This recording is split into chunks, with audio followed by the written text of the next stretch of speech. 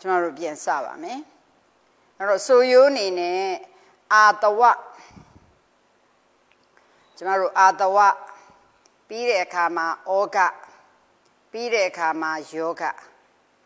အာတဝဩဃယောဂအာတဝဩဃယောဂတရားတွေကိုကျမတို့ကြည့်တဲ့အခါမှာအာတဝတရား၄ပါးဩဃတရား၄ပါးယောဂတရား၄ပါးအဲ့ဒါကိုအခုကျမတို့စုပ်ရိုးအနေနဲ့ပြန်ဆိုပါမယ် အာတဝကိုကြည့်တဲ့အခါကျရင်ကျမမြင်အောင်နည်းနည်းပြန်ကြည့်မယ်နော်အာတဝကိုကြည့်တဲ့အခါမှာအာတဝတရား၄ပါးမှာကျမတို့ကအာတဝတရားဒီဘယ်နှပါးရလဲဆိုရင်ဒီမှာ၄ပါးအာတဝတရား၄ပါးကိုကြည့်ရင်တုံးလေးချထားတဲ့မောကြည့်ရင်ဒီမှာကာမပြီးရင်ဒီမှာတုံးချတဲ့ဒါအစိမ့်လေးအာတဝဝယ်ပြောမယ်ဘဝပြီးရင်ဒီမှာတုံးချထားတဲ့မောကြည့်ရင်ဒိဋ္ဌိဒီမှာတုံးချထားတဲ့အဝိဇ္ဇာ ဒါကိုကာမနဲ့အာတဝပေါင်းလိုက်တော့ကာမတဝဘဝနဲ့အာတဝပေါင်းရင်ဘဝတဝဒိဋ္ဌိနဲ့အာတဝပေါင်းရင်ဒိဋ္ဌာတဝအဝိဇ္ဇာနဲ့အာတဝပေါင်းရင်အဝိဇ္ဇာတဝဒါကိုဆိုရဆိုရင်ကာမတဝဘဝတဝဒိဋ္ဌာတဝအဝိဇ္ဇာတဝဘောင်း အာတဝတရား၄ပါးတစ်ခေါက်ပူဆိုပါမယ်ကာမတဝဘဝတဝဒိဋ္ဌာတဝအဝိဇ္ဇာတဝဘောင်းအာတဝတရား၄ပါးတရကိုကျမတို့ကြည့်တဲ့အခါတရကိုကြတော့နည်းနည်းဒီလိုပေါ့နော်အောက်ကြည့်လိုက်နည်းနည်းတည်သွားမယ် တရကိုကြည့်တဲ့အခါခုနဆိုခဲ့တဲ့ကာမတဝဘဝတဝသည်တူနေတဲ့အတွက်ကျမတို့ကကာမတဝဘဝမှန်မှဆိုရင် ကာမတဝသည်လောဘတရကိုဘဝတဝသည်လောဘတရကိုအဲ့လိုဆိုရမှာအခုတော့ပေါင်းတူနေတဲ့အတွက်ကြောင့်ပေါင်းဆိုရင် ကာမတဝဘဝတဝသည်လောဘတရကိုဒိဋ္ဌာတဝသည် ဒိဋ္ဌိတရကိုအဝိဇ္ဇာတဝသည်မောဟတရကိုဘောက်တရကိုသုံးပါးရ၏ဒါဆိုရင်အာတဝကိုတရားက၄ပါးတရကိုသုံးမှပြန်မှုဆိုပါမယ်တရားဆိုမယ်ကာမတရားကိုဆိုတဲ့အခါကျရင်ကျမတို့ကဒီမှာတုံးလေးချထားတယ်เนาะဒီမှာတုံးလေးချထားတယ်ကာမအဲ့ဒီကာမကိုဆိုပြီးဒီဘက်က ဒါနဲ့ပေါင်းလိုက်မှာเนาะဒီလိုဒီဘက်ကိုကြည့်ဆိုရမယ်ဒါဆိုရင်ကျမတို့ကဆိုရင်ကာမတဝဘဝနဲ့ပေါင်းလိုက်ရင်ဘဝတဝဒိဋ္ဌိနဲ့ပေါင်းလိုက်ရင်ဒိဋ္ဌာတဝဝိဇ္ဇာနဲ့ပေါင်းရင်အဝိဇ္ဇာတဝဘာအာတဝတရား၄ပါးတစ်ခေါက်ပြန်ဆိုမယ်ကာမတဝဘဝတဝဒိဋ္ဌာတဝအဝိဇ္ဇာတဝ ဘောင်းအာတဝတရား၄ပါးတရားကိုကြလို့ရှိရင်အဲ့ဒီကာမတဝဘဝတဝတန်းတန်းဆွဲချပြီးတော့ဒီအောက်မှာတရားကိုဆိုတဲ့အကွက်မှာကြည့်လိုက်ရင်ကာမ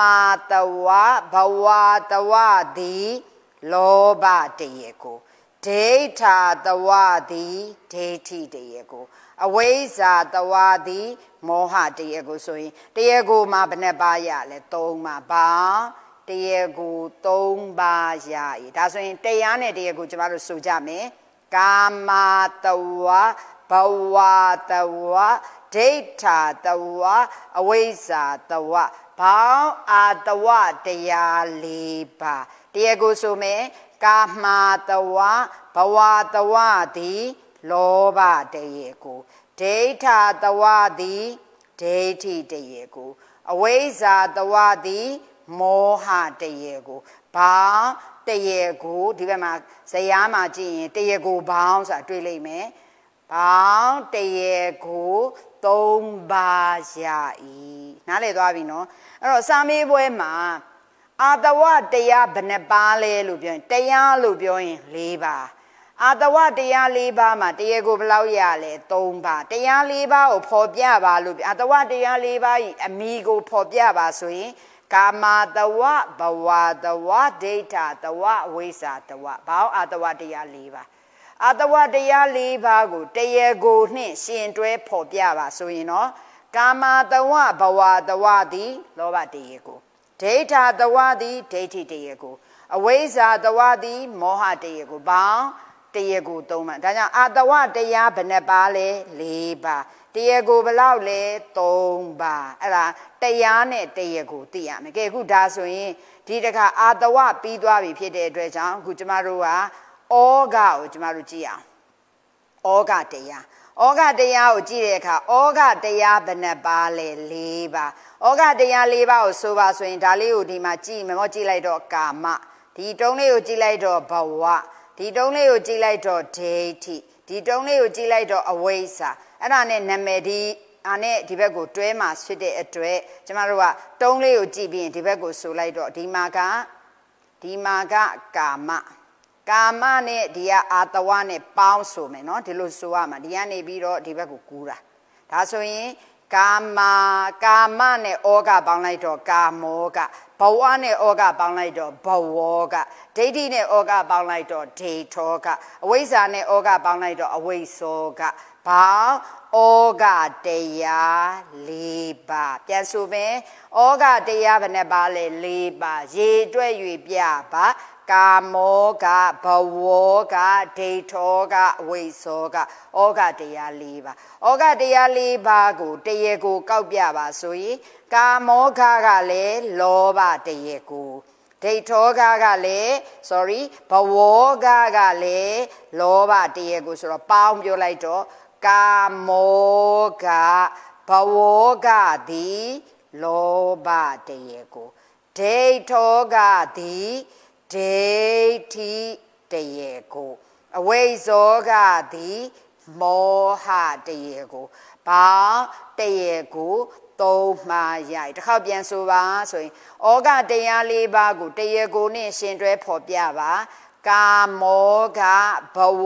ကသည်လောဘတရေကိုဒိဋ္ဌောကသည်ဒိဋ္ဌိတရေကိုအဝိဇ္ဇောကသည်မောဟတရေကိုဘာတရေကိုသုံးပါးရာဤဒီမှာတမျိုးပဲပြစ်ကြောင်စီလို့မထည့်ဘူးเนาะသုံးပါးရာကဲဒါဆိုရင်နားလည်သွားရင်ကျမတို့ကဘာဆိုမလဲဆိုရင်ယောဂယောဂကိုကျမတို့ဆိုမယ်ဆိုရင် ယောဂလည်းဒီပုံစံပဲယောဂတရားဘယ်နှပါလဲလို့ကြည်လိုက်ရင်ယောဂတရား၄ပါးယောဂတရား၄ပါးကိုကျမတို့ကြည့်ရင်ဒီမှာကတုံးလေးချထားတဲ့ကာမဒီမှာတုံးလေးချထားတဲ့ဘဝဒီမှာတုံးလေးချထားတဲ့မောจิဒိဋ္ဌိဒီမှာတုံးလေးချထားတဲ့မောจิအဝိဇ္ဇာအဲ့ဒါနဲ့တွဲရင်၄ခုပေါ့ဒါဆိုရင်ကျမတို့တွေ့တဲ့အခါကျရင်လေဒီဘက်ကတုံးလေးတွေချတာနဲ့ယောဂနဲ့ဆက်ပြီးပြောမှဖြစ်တဲ့အတွက်ကြောင့်ကာမ ယောဂဘဝယောဂဒိဋ္ဌိယောဂအဝိဇ္ဇာယောဂဘောင်းယောဂတရား၄ပါးကဲယောဂတရား၄ပါးကိုဆိုပါဆိုရင်ကာမယောဂဘဝယောဂဒိဋ္ဌိယောဂအဝိဇ္ဇာယောဂဘောင်းယောဂတရား၄ပါးတရားကိုကောက်ပါဆိုရင်ကာမယောဂဘဝယောဂသည်လောဘတရားကို ဒိဋ္ဌိယောဂသည်ဒိဋ္ဌိတရားကိုအဝိဇ္ဇာယောဂသည် မောဟတရားကိုဘောင်းတရားကို၃ပါးရိုက်ကဲယောဂတရားပြန်ဆိုမယ်ကာမယောဂဘဝယောဂဒိဋ္ဌိယောဂအဝိဇ္ဇာယောဂဘောင်းယောဂတရား၄ပါးတရားကိုကောက်မယ်ကာမယောဂဘဝယောဂသည်လောဘတရားကို ဒိဋ္ဌိယောဂသည်ဒိဋ္ဌိတရားကိုအဝိဇ္ဇာယောဂသည်မောဟတရားကိုဘောင်းတရားကိုသုံးပါရိုက်အဲ့တော့ဆိုကြည့်ရင်၃ခေါက်၃မျိုးမို့လို့၃ခေါက်ဆိုရပြီမဲ့တကယ်တမ်းသဘောပေါက်သွားပြီနားလည်သွားပြီဆိုရင်တော့ကျမတို့ကပေါင်းပြီးတော့ပဲကျမတို့ဆိုကြတော့မယ်เนาะပေါင်းပြီးဆိုတာလေးကိုကြည့်ရင်ဩဃဆိုလေယောအတဝဆိုရင်လေဒီပုံစံပဲเนาะအဲ့တော့အာတဝဆိုမယ် ဩကဆိုမယ်ယောဂဆိုမယ်သူတို့ဒီဘယ်နှပါစီလဲ၄ပါစီတရေကိုကောက်တဲ့အခါကြရင်တော့တရေကိုဒီ၃ပါတူနေတဲ့အတွက်ကြောင့်ဒီကြရင်စီလေးထည့်မယ်ဆိုတော့အခုကျမတို့ကတရားရင်ဆိုမယ်ဆိုရင်အာတဝတရားကိုအခုကျမတို့ဆိုမယ်နော်အရင်ဆုံးအာတဝတရားဆိုမယ်အာတဝတရားပြီးရင် ဩဩဃပြီးရင်ယောဂဆိုတော့ဒီမှာကြည့်ရင်ကာမတဝအာတဝကာမနဲ့ကျမတို့ကကာမနဲ့အာတဝတွဲမယ်ကာမနဲ့ဩဃတွဲမယ်ကာမနဲ့ယောဂတွဲမယ်ဘဝလဲကြရင်လဲဒီတိုင်းဆိုရင်ကျမတို့ကကာမနဲ့တွဲရင်ကာမတဝကာမောဂကာမယောဂဘဝနဲ့တွဲတော့မယ်ဆိုရင်ဘဝတဝနော်ဘဝနဲ့တွဲရင်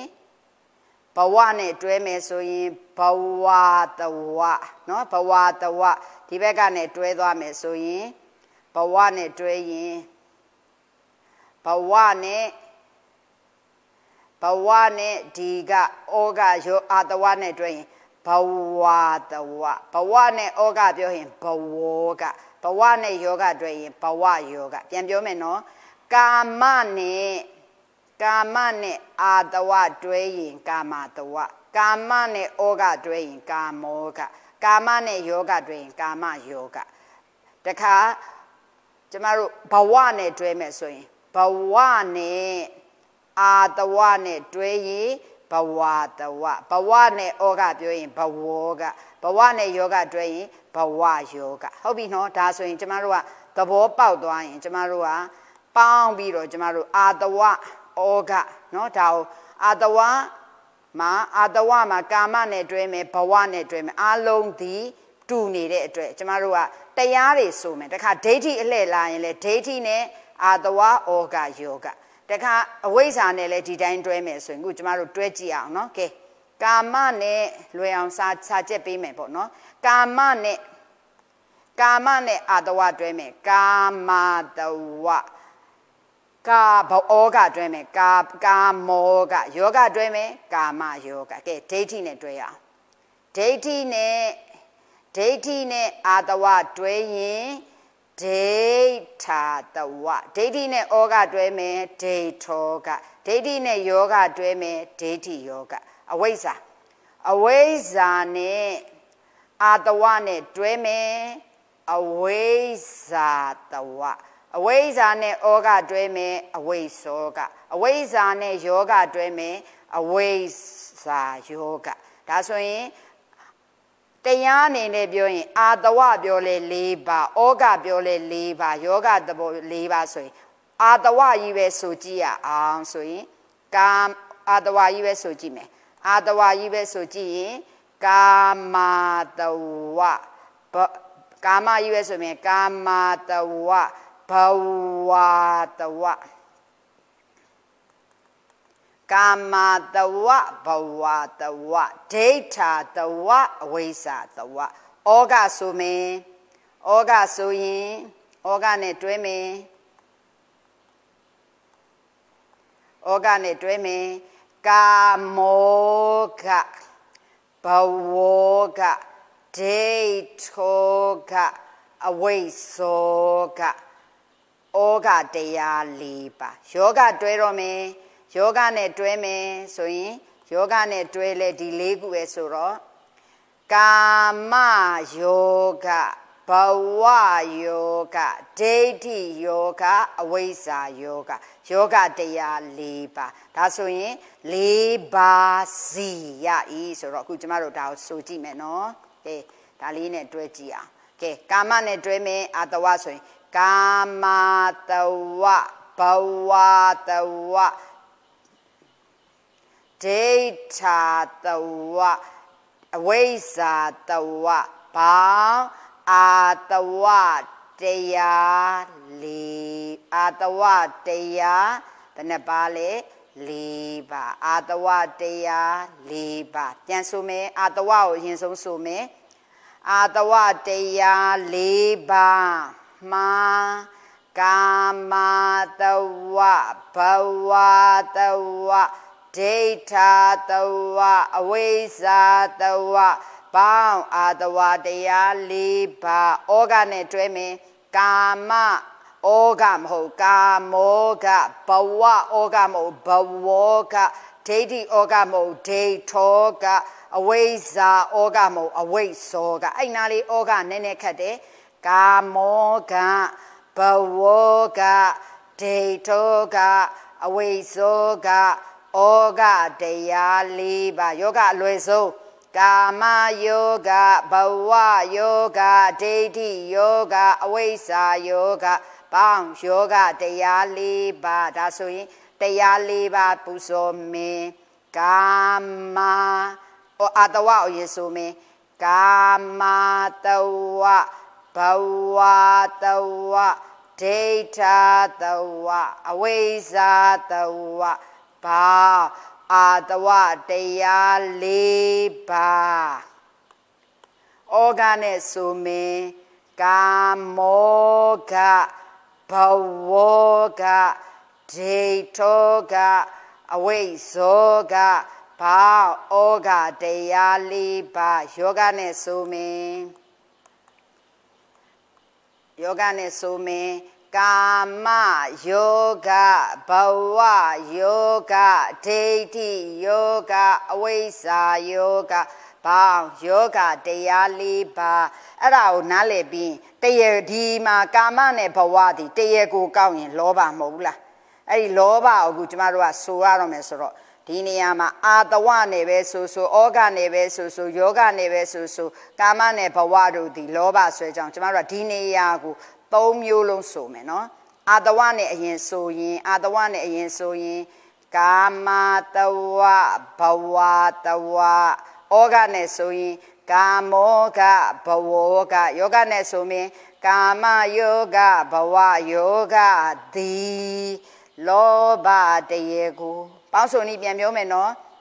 ကာမနဲ့ဘဝကိုအာတဝနဲ့တွဲရင်ကာမတဝဘဝတဝဩဃနဲ့တွဲလိုက်ကာမောကဘဝကယောဂနဲ့တွဲမယ်ကာမယောဂဘဝယောဂသည်လောဘတရေကိုကဲဒိဋ္ဌိနဲ့ဒိဋ္ဌိနဲ့အာတဝတွဲမယ်ဒိဋ္ဌာတဝဩဃတွဲမယ်ဒိဋ္ဌောက ယောဂနဲ့တွဲမယ်ဒိဋ္ဌိယောဂသည် sorry ဒီနေရာမှာလောဘတရေကွာကိလေသာမှာသွားရောက်နေเนาะဒီဟာဒီဘာတရေကူလဲလို့ပြောရင်ခုနပြန်ပြောမယ်เนาะဒီမှာဒီဘက်ကိုတွဲရမှာခုဆိုရင်ဒိဋ္ဌာတဝဒိဋ္ဌောကဒိဋ္ဌိယောဂသည်ဒိဋ္ဌိတရေကူအဝိဇ္ဇာနဲ့အတဝတွဲမယ် အဝိဇ္ဇာတဝအဝိဇ္ဇောကအဝိဇ္ဇာယောဂသည်မောဟတရေကူဘာတရေကို၃ပါးစီ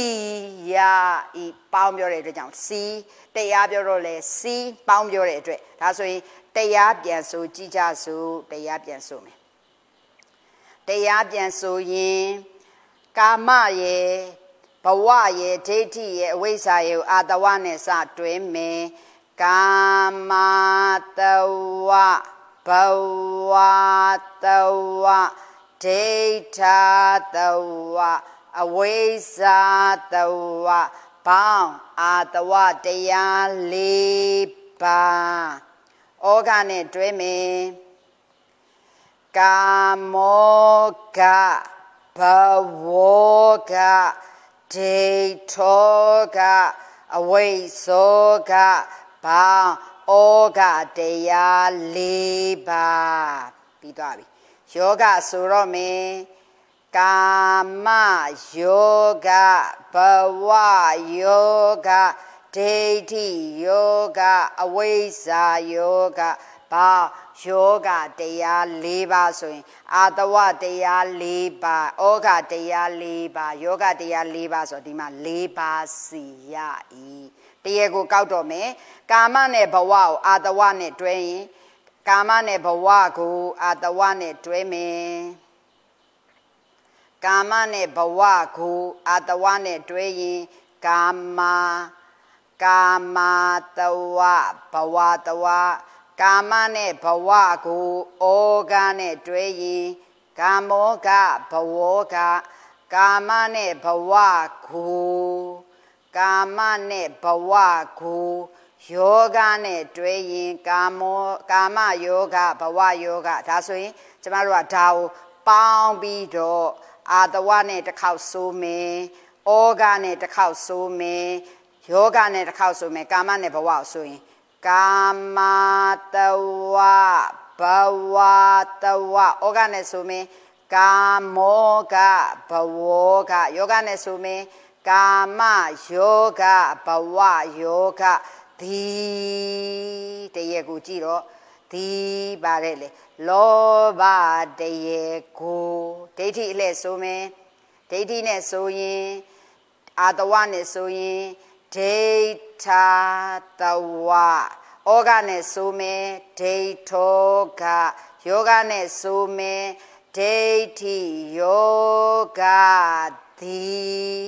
ဒိဋ္ဌိတရေကိုအဝိဇ္ဇာလှည့်လာမယ်အတဝနဲ့တွဲမယ်အဝိဇ္ဇာတဝ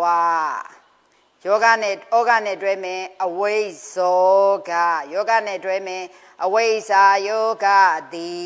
မောဟတရေကိုဆိုတော့တရား၄ပါးတရေကိုက၃ပါးစီဆိုရအောင်တရေကို၃ပါးစီရဤရမလားဓမ္မမိတ်ဆွေများကဲအဲ့ဒီတစ်ခုလေးကမဆိုတတ်သေးတဲ့အတွက်နှုတ်မတက်ဘူးဖြစ်နေတယ်အဲ့ဒါကြောင့်ကျမတို့ကအခုအတူတူဆိုမယ်နော်ကဲအာတဝ၄ပါးဩဃ၄ပါးယောဂ၄ပါးအရင်ဆိုမယ်အာတဝ၄ပါးဆိုမယ်ကာမတဝဘဝတဝ ဒိဋ္ဌာတဝအဝိဇ္ဇာတဝပေါအာတဝတရားလေးပါဩဃတရားလေးပါဆိုမင်းကာမောကဘဝောကဒိဋ္ဌောကအဝိဇ္ဇောကဘာဩဃတရားလေးပါယောဂတရားလေးပါဆိုမင်း ကာမယောဂဘဝယောဂဒိဋ္ဌိယောဂအဝိဇ္ဇာယောဂဘောင်းယောဂတရား၄ပါးဆိုရင်အာတဝတရား၄ပါးဩဃတရား၄ပါးယောဂတရား၄ပါးဆို၄ပါးစီတရားကိုကောက်တော့မယ်ကာမနဲ့ဘဝတရားကိုတူတဲ့အတွက်ကြောင့်အာတဝတစ်ခါဆိုမယ်ဩဃတစ်ခါဆိုမယ်ယောဂတစ်ခါဆိုမယ်တရားကိုကောက်တော့မယ်ကာမတဝဘဝတဝ ကာမောကဘဝကကာမယောဂဘဝယောဂဒီလောဘတရေကိုဒိဋ္ဌိနဲ့တွဲမယ်ဒိဋ္ဌာတဝဒိဋ္ဌောကဒိဋ္ဌိယောဂဒီဒိဋ္ဌိတရေကိုအဝိဇ္ဇာနဲ့တွဲမယ်အဝိဇ္ဇာတဝအဝိဇ္ဇောကအဝိဇ္ဇာယောဂဒီမောဟတရေကို ပေါင်းတရေကိုသုံးပါးစီရဤကျမတူတဲ့အတွက်ကြောင့်ပေါင်းလိုက်တာတကယ်လို့တစ်ခုစီဆိုနေပြမယ်ကာမတစ်ခွက်တည်းကိုပဲဆိုပြမယ်နော်တူနေတဲ့အတွက်ကြောင့်ကာမနဲ့ဘဝကိုပေါင်းလိုက်တစ်ခုပဲစီဆိုရင်ကာမနဲ့အာတဝတွဲမယ်ကာမတဝကာမောကကာမယောဂဒီတေလောဘတရေကိုဘဝလှည့်လာမယ် ဘဝတဝဘဝကဘဝယောဂဒီလောဘတရားကိုဆိုလောဘတရားကိုတစ်ခုတည်းကိုနှစ်ခုဆိုရတဲ့ကြောင့်ပေါင်းဆိုလိုက်တော့မြင်တာပေါ့ဒါဆိုရင်ဘဝနဲ့ကာမနဲ့ဘဝကိုပေါင်းပြီးတော့ဆိုလိုက်တော့ကာမတဝဘဝတဝဩဃဆိုမယ်ကာမောကဘဝကယောဂဆိုမယ်ကာမယောဂဘဝယောဂဒီလောဘတရားကိုဆိုမြင်သွားတဲ့ဒိဋ္ဌိကိုတွဲမယ် ဒိဋ္ဌာတဝဒိဋ္ဌောကဒိဋ္ဌိယောဂတိဒိဋ္ဌိတရေကိုအဝိဇ္ဇာနဲ့ဆိုရင်အဝိဇ္ဇာတဝအဝိဇ္ဇောကအဝိဇ္ဇာယောဂတိမောဟတရေကိုဘာတရေကိုသုံးပါးစီရဤနားလည်ပြီနော်အဲ့ဒါကိုဓမ္မမိတ်ဆွေများလေ့ကျင့်တော့ကိုကကိုဟုတ်ပြီနော်ကဲဒါနားလည်သွားပြီဆိုရင်ခုကျမတို့ကနောက်တစ်ခွက်သွားတော့မယ် နောက်တစ်ခွက်သွားမယ်ဆိုတော့ခုကျမတို့အာတဝတရား၄ပါးအာတဝတရား၄ပါးပြီးသွားပြီဩဃတရား၄ပါးပြီးသွားပြီ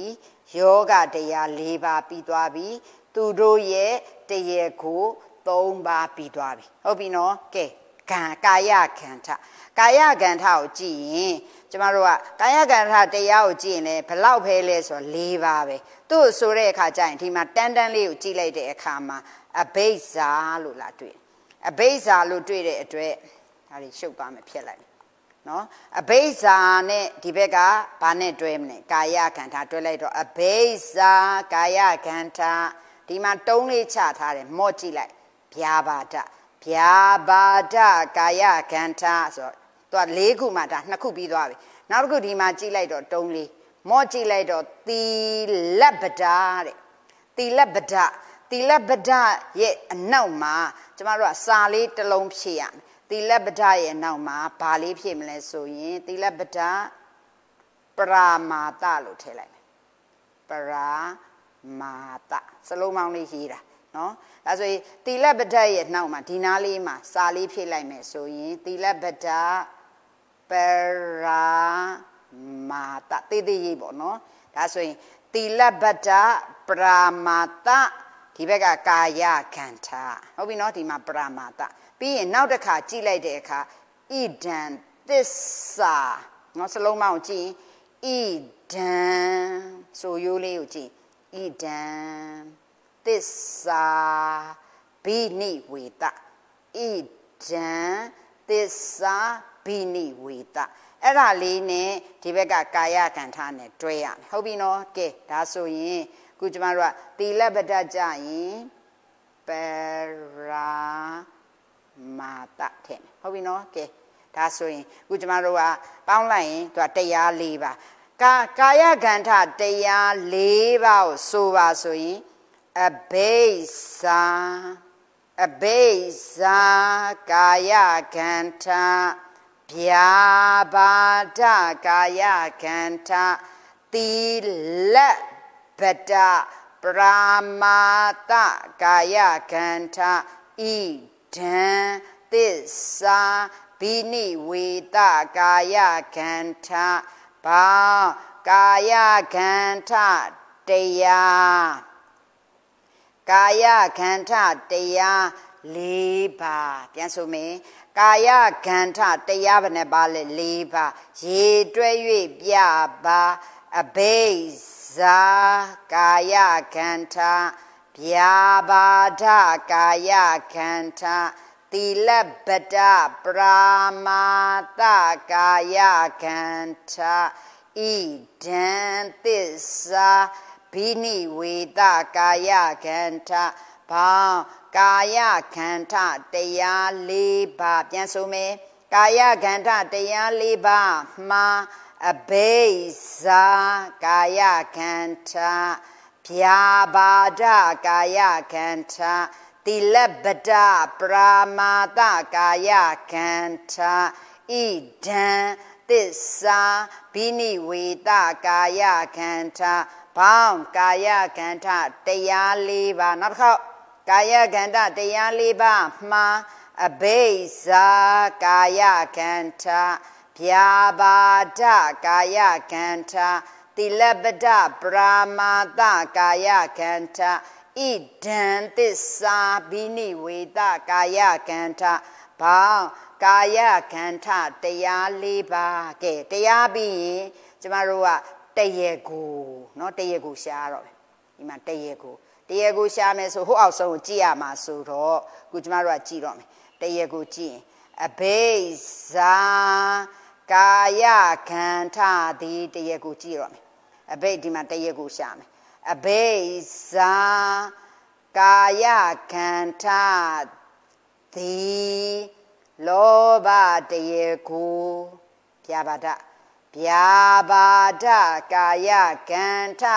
သည် ဒေါသတရေကိုသီလပဒပရာမာတကာယခန္ဓာသည်ဒိဋ္ဌိတရေကိုစက်ကြည့်ဣဒံသစ္စာပိနိဝေတကာယခန္ဓာသည်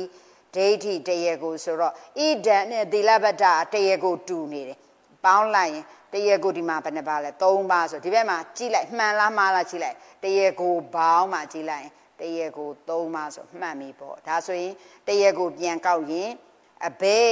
ဇာကာယကန္ထသည်လောဘတရေကိုဗျာပါဒကာယကန္ထသည်ဒေါသတရေကိုသီလပတ္တပရာမာတကာယကန္ထတူတဲ့အတွက်ကြောင့်ပေါင်းလိုက်မယ်ဣဒံသစ္စာပိနိဝေတကာယကန္ထသည်ဒိဋ္ဌိတရေကိုဘာတရေကို၃ပါး စီထက်เสียမလို့သူကဒီကာယကံထတရားတစ်မျိုးတည်းဖြစ်တဲ့ကြောင့်တရေကိုသုံးပါးယာယီအာတဝဩဃယောဂကြတော့သုံးမျိုးလုံးကတူတဲ့အတွက်ကြောင့်စီဆိုတာထည့်ရเนาะဒီမှာကြမထည့်ရဘူးဒါဆိုရင်ပြန်ဆိုရအောင်ကာယကံထတရားကာယကံထတရား၄ပါးအရင်ဆုံးဆိုမယ် ကာယခန္ဓာတရားလေးပါးမှအဘိဇာကာယခန္ဓာ ဗျာပါဒကာယခန္ဓာသီလပတ္တပရာမာတကာယခန္ဓာဣဒံသစ္စာပိနိဝေဒကာယခန္ဓာဘာကာယခန္ဓာတရားလေးပါတရားကိုကောက်ကြမယ်ဆိုတရားကိုဟိုးအောက်ဆုံးဖြစ်တဲ့အတွက်အောက်ဆုံးထိဇရာကိုဆွဲချပြီးတော့တရားကိုအကွက်ကိုကြည့်ရမယ်ဆိုရင်အဘိဇာကာယခန္ဓာသည် လောဘတရားကိုဗျာပါဒကာယခန္ဓာသည်ဒေါသတရားကိုသီလပတ္တပရာမာတကာယခန္ဓာဣဒံသစ္စာပိနိဝေတကာယကန္ဓာတိဒိဋ္ဌိတရေကိုဘာတရေကိုသုံးပါရ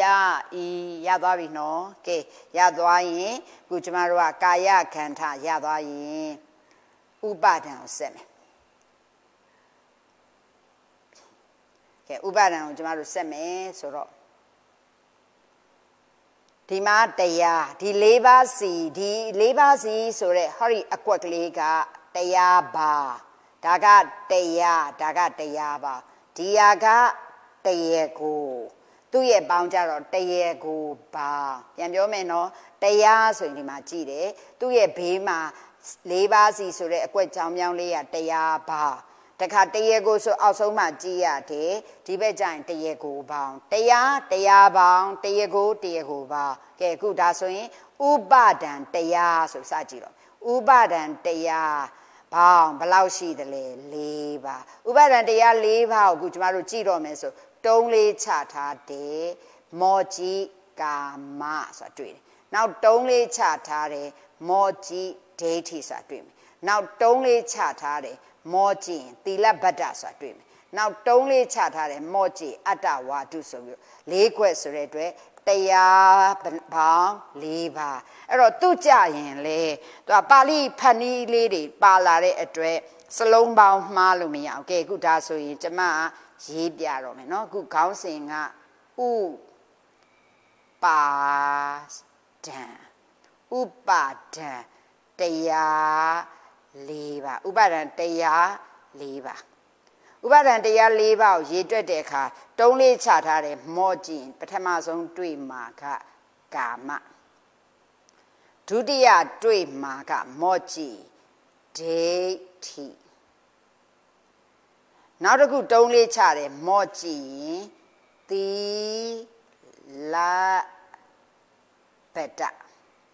နော်ကျမတို့နှလုံးစင်တွေ့ရအပေါ်တစ်လုံးအသက်တင်ရတယ်သီလက်ဒီမှာနှလုံးထဲအသီလက်ဗဒနော်နောက်တစ်ခါတွေ့ရင်အတဝါဒုလို့ရေးထားတယ်တကယ်တော့အတ္တဝါဒနော်ဒါအတ္တဝါဒအဲ့ဒါနဲ့အခုကျမတို့ကပေါင်းရတော့မယ်ဘာနဲ့ပေါင်းမလဲဆိုရင်ဥပါဒံနဲ့ပေါင်းရတော့မယ်ဥပါဒံနဲ့ပေါင်းတဲ့အခါ ဥပါဒံဥဆိုတာဒီအတန်ထွက်ပြောပြမယ်ဥပါဒံဆိုတာအာတချောင်းငင်ဥအခေယဥဒါအခေယဥအခေယဥလို့ဆိုတော့ဘာလို့ပြောလဲဆိုရင်ဒီလိုမျိုးလေးမှာအမီးရှည်ရင်အဲ့ဒါညလေးအမီးတိုရင်အခေယဥအခေယဥဆိုတာအာတချောင်းငင်ဥနဲ့တူတူပဲဥပါဒံအဲ့တော့ပါဠိစာပေမှာအလို့ဘာလို့ ဘီးအနေနဲ့မရှိဘူးဒါတွေကတရဒါဆိုဥဆိုတာဒီဘာကိုလိုချင်တာလဲဆိုတချောင်းငင်ကိုလိုချင်တယ်ဒါဆိုရင်ကာမနဲ့ဥပါဒံနဲ့ပေါင်းရမယ်ဒိဋ္ဌိနဲ့ဥပါဒံနဲ့ပေါင်းရမယ်သီလဗဒနဲ့ဥ ပါဒံနဲ့ပေါင်းဒါရေးပုံရင်းนี่ဒါဓမ္မမိတ်ဆိုတော့ဒါတက်မှာစလုံးပေါင်းစာကြည့်ရင်တိတ်လွယ်တယ်နိမို့ဆိုခက်တော့မယ်အတ္တဝါဒနဲ့ဥပါဒံနဲ့တွဲရမယ်အဲ့ဒီလိုတွဲလိုက်တော့မှအတန်ထွက်တည်ရလာမယ်ဒါဆိုရင်ကာမနဲ့ဥပါဒံနဲ့တွဲတဲ့အခါမှာဒီဥနေရာလေးမှာမလေးလာထည့်ဒိဋ္ဌိနဲ့ဥပါဒံနေရာမှာဒီမှာဒိဋ္ဌိမှာကျွန်မခုနပြောပြီးပြီဒိဋ္ဌိဆိုတဲ့စကားလုံးမှာ ဒိဋ္ဌနဲ့ဒီပေါ်မှာလုံရည်တင်လေးလည်းပါနေဟာဒီလုံရည်တင်လေးအဲ့ဒါဣတရလုံးကြီးတင်လေးကလုံးကြီးတင်လေးကဣတရဣတရလေးပါနေဒီမှာကလုံးကြီးတင်အဲ့ဒီမှာပါနေတာကဣတရကာမမှာအတရပါပြီးသားအနဲ့ဥဒီမှာကနားလည်အောင်နားရလဲလဲစေချင်တော့ကာမနေရာမှာကအတရရှိတယ် ဒီမှာကဥဒီမှာကဣဥဒီမှာဆိုရင်လေဒီမှာဆိုရင်လည်းအရှိတယ်ဒီမှာဆိုရင်လည်းအရှိတယ်အဲ့တော့ပါဠိစာပေမှာတရနှစ်ခုကိုပေါင်းရတော့မယ်တရနှစ်ခုကိုပေါင်းရင်တစ်ခုကို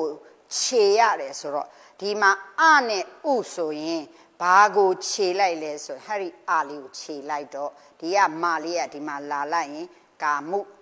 ဒိဋ္ဌိနဲ့ဥပါဒမှာဣကိုခြေလိုက်တော့ဒိဋ္ဌလေးကဒီမှာလာလိုက်တော့ဒိဋ္ဌုဒီမှာလဲသီလပဒမှာအရှိရဆိုအာလေးကိုခြေလိုက်တော့တာဝင်းဘူကတစ်ချောင်းငင်လာလိုက်တော့တုအတ္တဝါဒမှာအာလေးကိုခြေလိုက်တော့ဓာတွေကဒီမှာဆိုဒုဒါဆိုရင်ကျမတို့ကလွယ်လွယ်လေးပြောရင်ဒါလေးကကြုံနှုံးလေးတွေ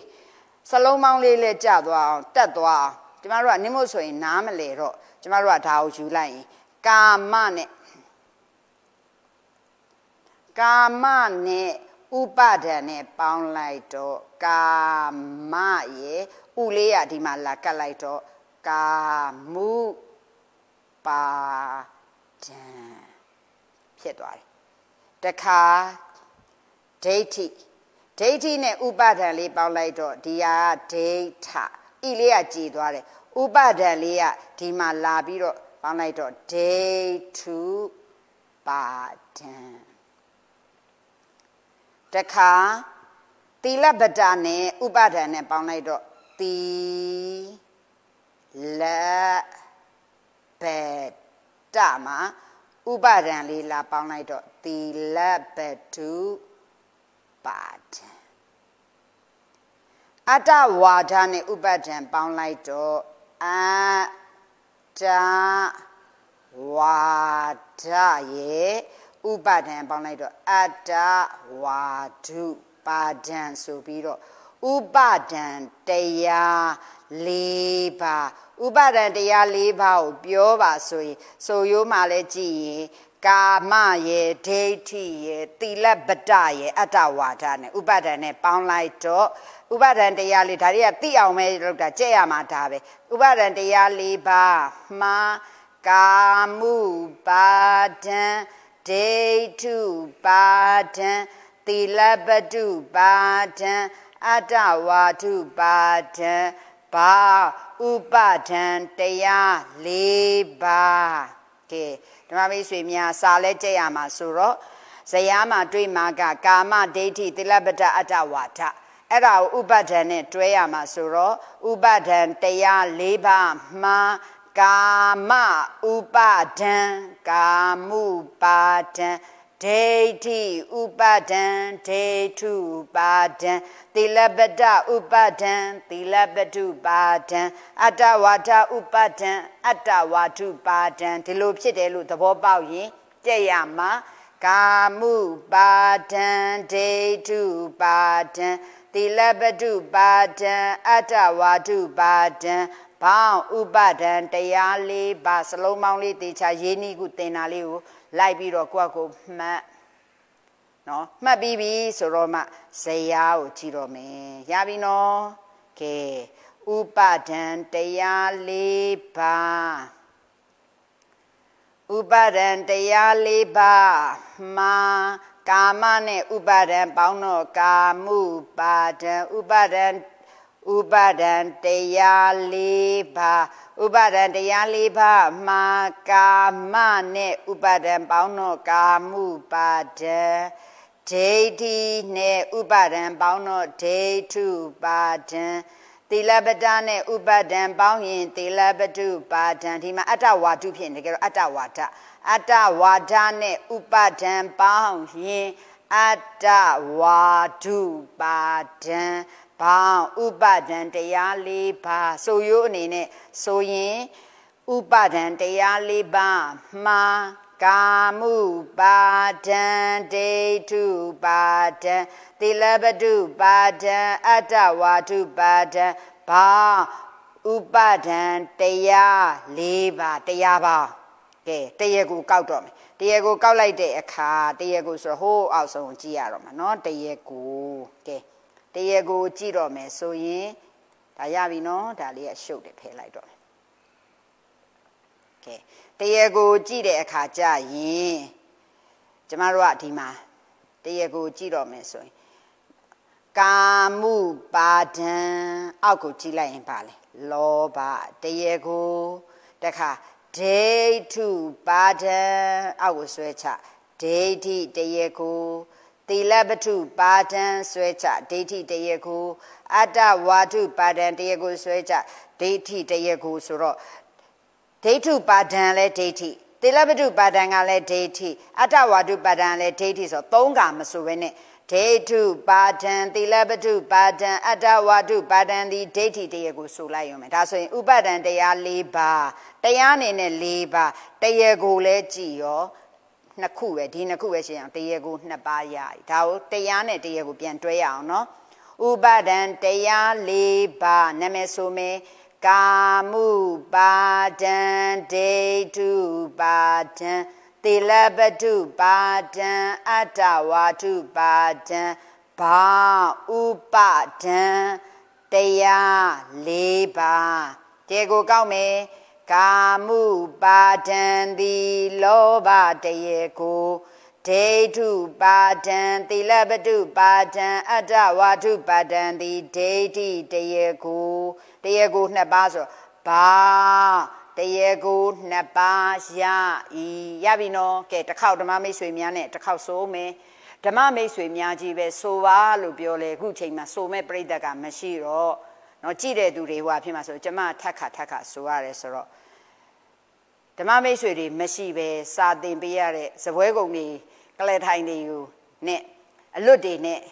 ကင်မရာကိုကြည့်ပြီးတော့ဆိုရိုးချအတိတ်ပဲတင်ရတဲ့ဆရာမပင်မနဲ့နော်ဒီအချိန်မှာအဲ့တော့ဓမ္မမိတ်ဆွေများရွယ်တစ်ခေါက်ဆိုဆိုစာသင်သားတွေရှင်တို့ဆိုတဲ့အတန်လေးနဲ့ဆိုကြတယ်အခုကိုကြီးပဲဆိုရမှာကဲတစ်ခေါက်ဆိုမယ်ဥပဒံတရား၄ပါးမှာဓမ္မမိတ်ဆွေတော့ကိုအိမ်မှာကိုယ့်အကိုအတန်ထွက်ဆိုနော်ဥပဒံတရား၄ပါးမှာ ကာမှုပါဒံဒိဋ္ဌုပါဒံ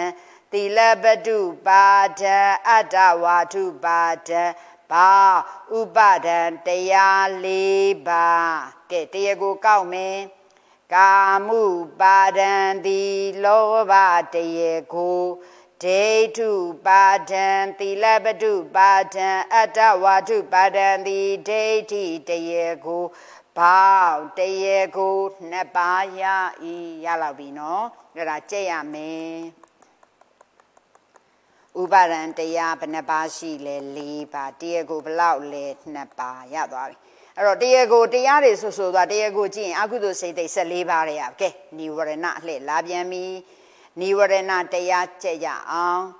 နိဝရဏတရားဘယ်နှပါးလဲ6ပါး နိဝရဏတရား6ပါးကိုအခုကျမတို့ကြည့်ဒီမှာတစ်လို့ရေးထားတယ်ဒီမှာကဏန်းလေးတွေရေးထားတယ်ဆရာအစင်ကြအောင်ဆရာတော်ဘုရားကြီးကလေ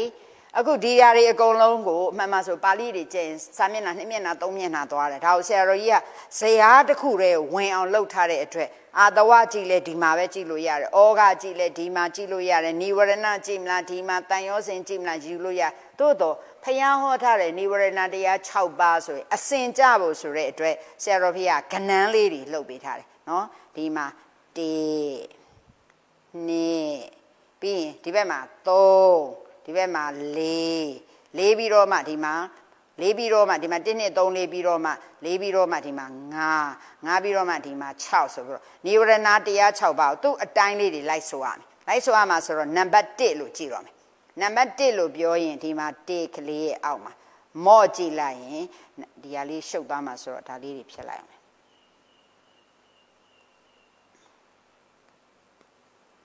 ကဲနံပါတ်1ကိုကြည့်ရင်နံပါတ်1ဆိုပြီးမော့ကြည့်လိုက်ရင်ဘာတွေ့လဲကာမ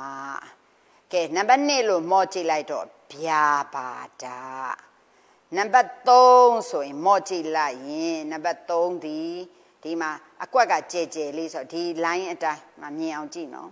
ဆရာတော်ဖះရဲ့ဇရာအင်မတန်တန်မိုးရှိတယ်အဲ့ဒီဒီမှာဒီမှာဒီအတိုင်းသွားမယ်ဒီဟာ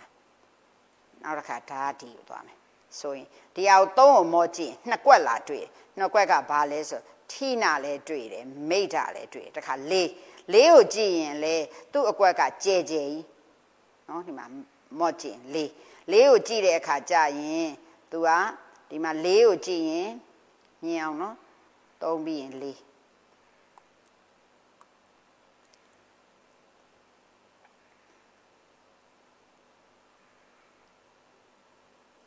တော့သုံးကနှစ်ကွက်လေးကြည့်လဲနှစ်ကွက်ပဲဒါဆိုရင်ပြန်ပြောရင်သုံးကိုကြည့်တဲ့အခါကျရင်ထီနာမိတာနှစ်ခွက်ဆိုရတယ်လေးလေးကိုဆိုပြမယ်လေးကိုဆိုရင် ဩဒိသကုတ်ကုတ်စတွဲဆိုရတယ်တခါငါငါကိုကျွန်မကြည့်မယ်ဆိုငါဒီနာရောက်တာငါကိုကြည့်လိုက်တဲ့အခါကျရင်ဒီမှာတန်တန်လေးဒွားမိတ်ဆိုလို့ကိုယ်ဇရာကိုကြည့်ပေါ့နော်ခုဒီမှာဇရာဘယ်လိုကြည့်ရလဲဆိုတာပဲကျွန်မဒီမှာထောက်ပြနေ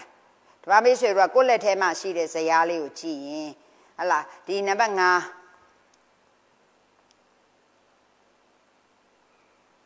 နံပါတ်5ကိုကြည့်တဲ့အခါကျရင်နံပါတ်5ဒီအပေါ်မော့ချင်း ဝိစီကိစ္စဆိုတကွက်ပဲတွေ့တယ်တခါနံပါတ်6နံပါတ်6နံပါတ်6ကိုကြည့်တဲ့အခါကျရင်ဒီမှာအဝိဇ္ဇာပြန်ပြောမယ်နော်ကာမကိုကြည့်တဲ့အခါကျရင်ကာမ sorry နံပါတ်1ကကာမနံပါတ်2ကိုကြည့်ရင်ဗျာပါဒနံပါတ်3ကိုကြည့်ရင်ဌိနမိတ်4ကိုကြည့်ရင်ဥဒိစ္စကုတ်ကုတ်စ5ကိုကြည့်ရင်ဝိသိကိစ္စ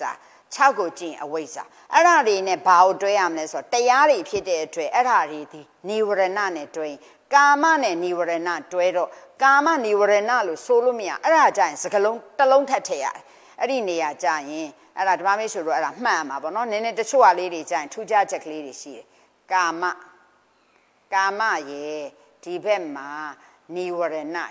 ခုကျမတို့ဆိုရမှာနိဝရဏ ကာမနဲ့နိဝရဏတွဲရင်လေတဲ့ဇယားမှာကာမရဲ့အနောက်ကလေးနားမှာစာလေးတစ်လုံးထည့်ပေးပါတဲ့အဲ့ဒါဘာလဲဆိုရင်စန္ဒာတဲ့ကျမလည်းဓမ္မမိတ်ဆွေတို့တက်စီခြင်းနဲ့သိလားတက်စီခြင်းတော့ကျမတို့တော့မတက်ပါဘူးလေမတက်ဖေးနဲ့ကျမတို့ကတွဲရတာဆိုကာမရဲ့အနောက်မှာလေတဲ့ဘာလေးတစ်လုံးထည့်ပါလဲဆိုရင်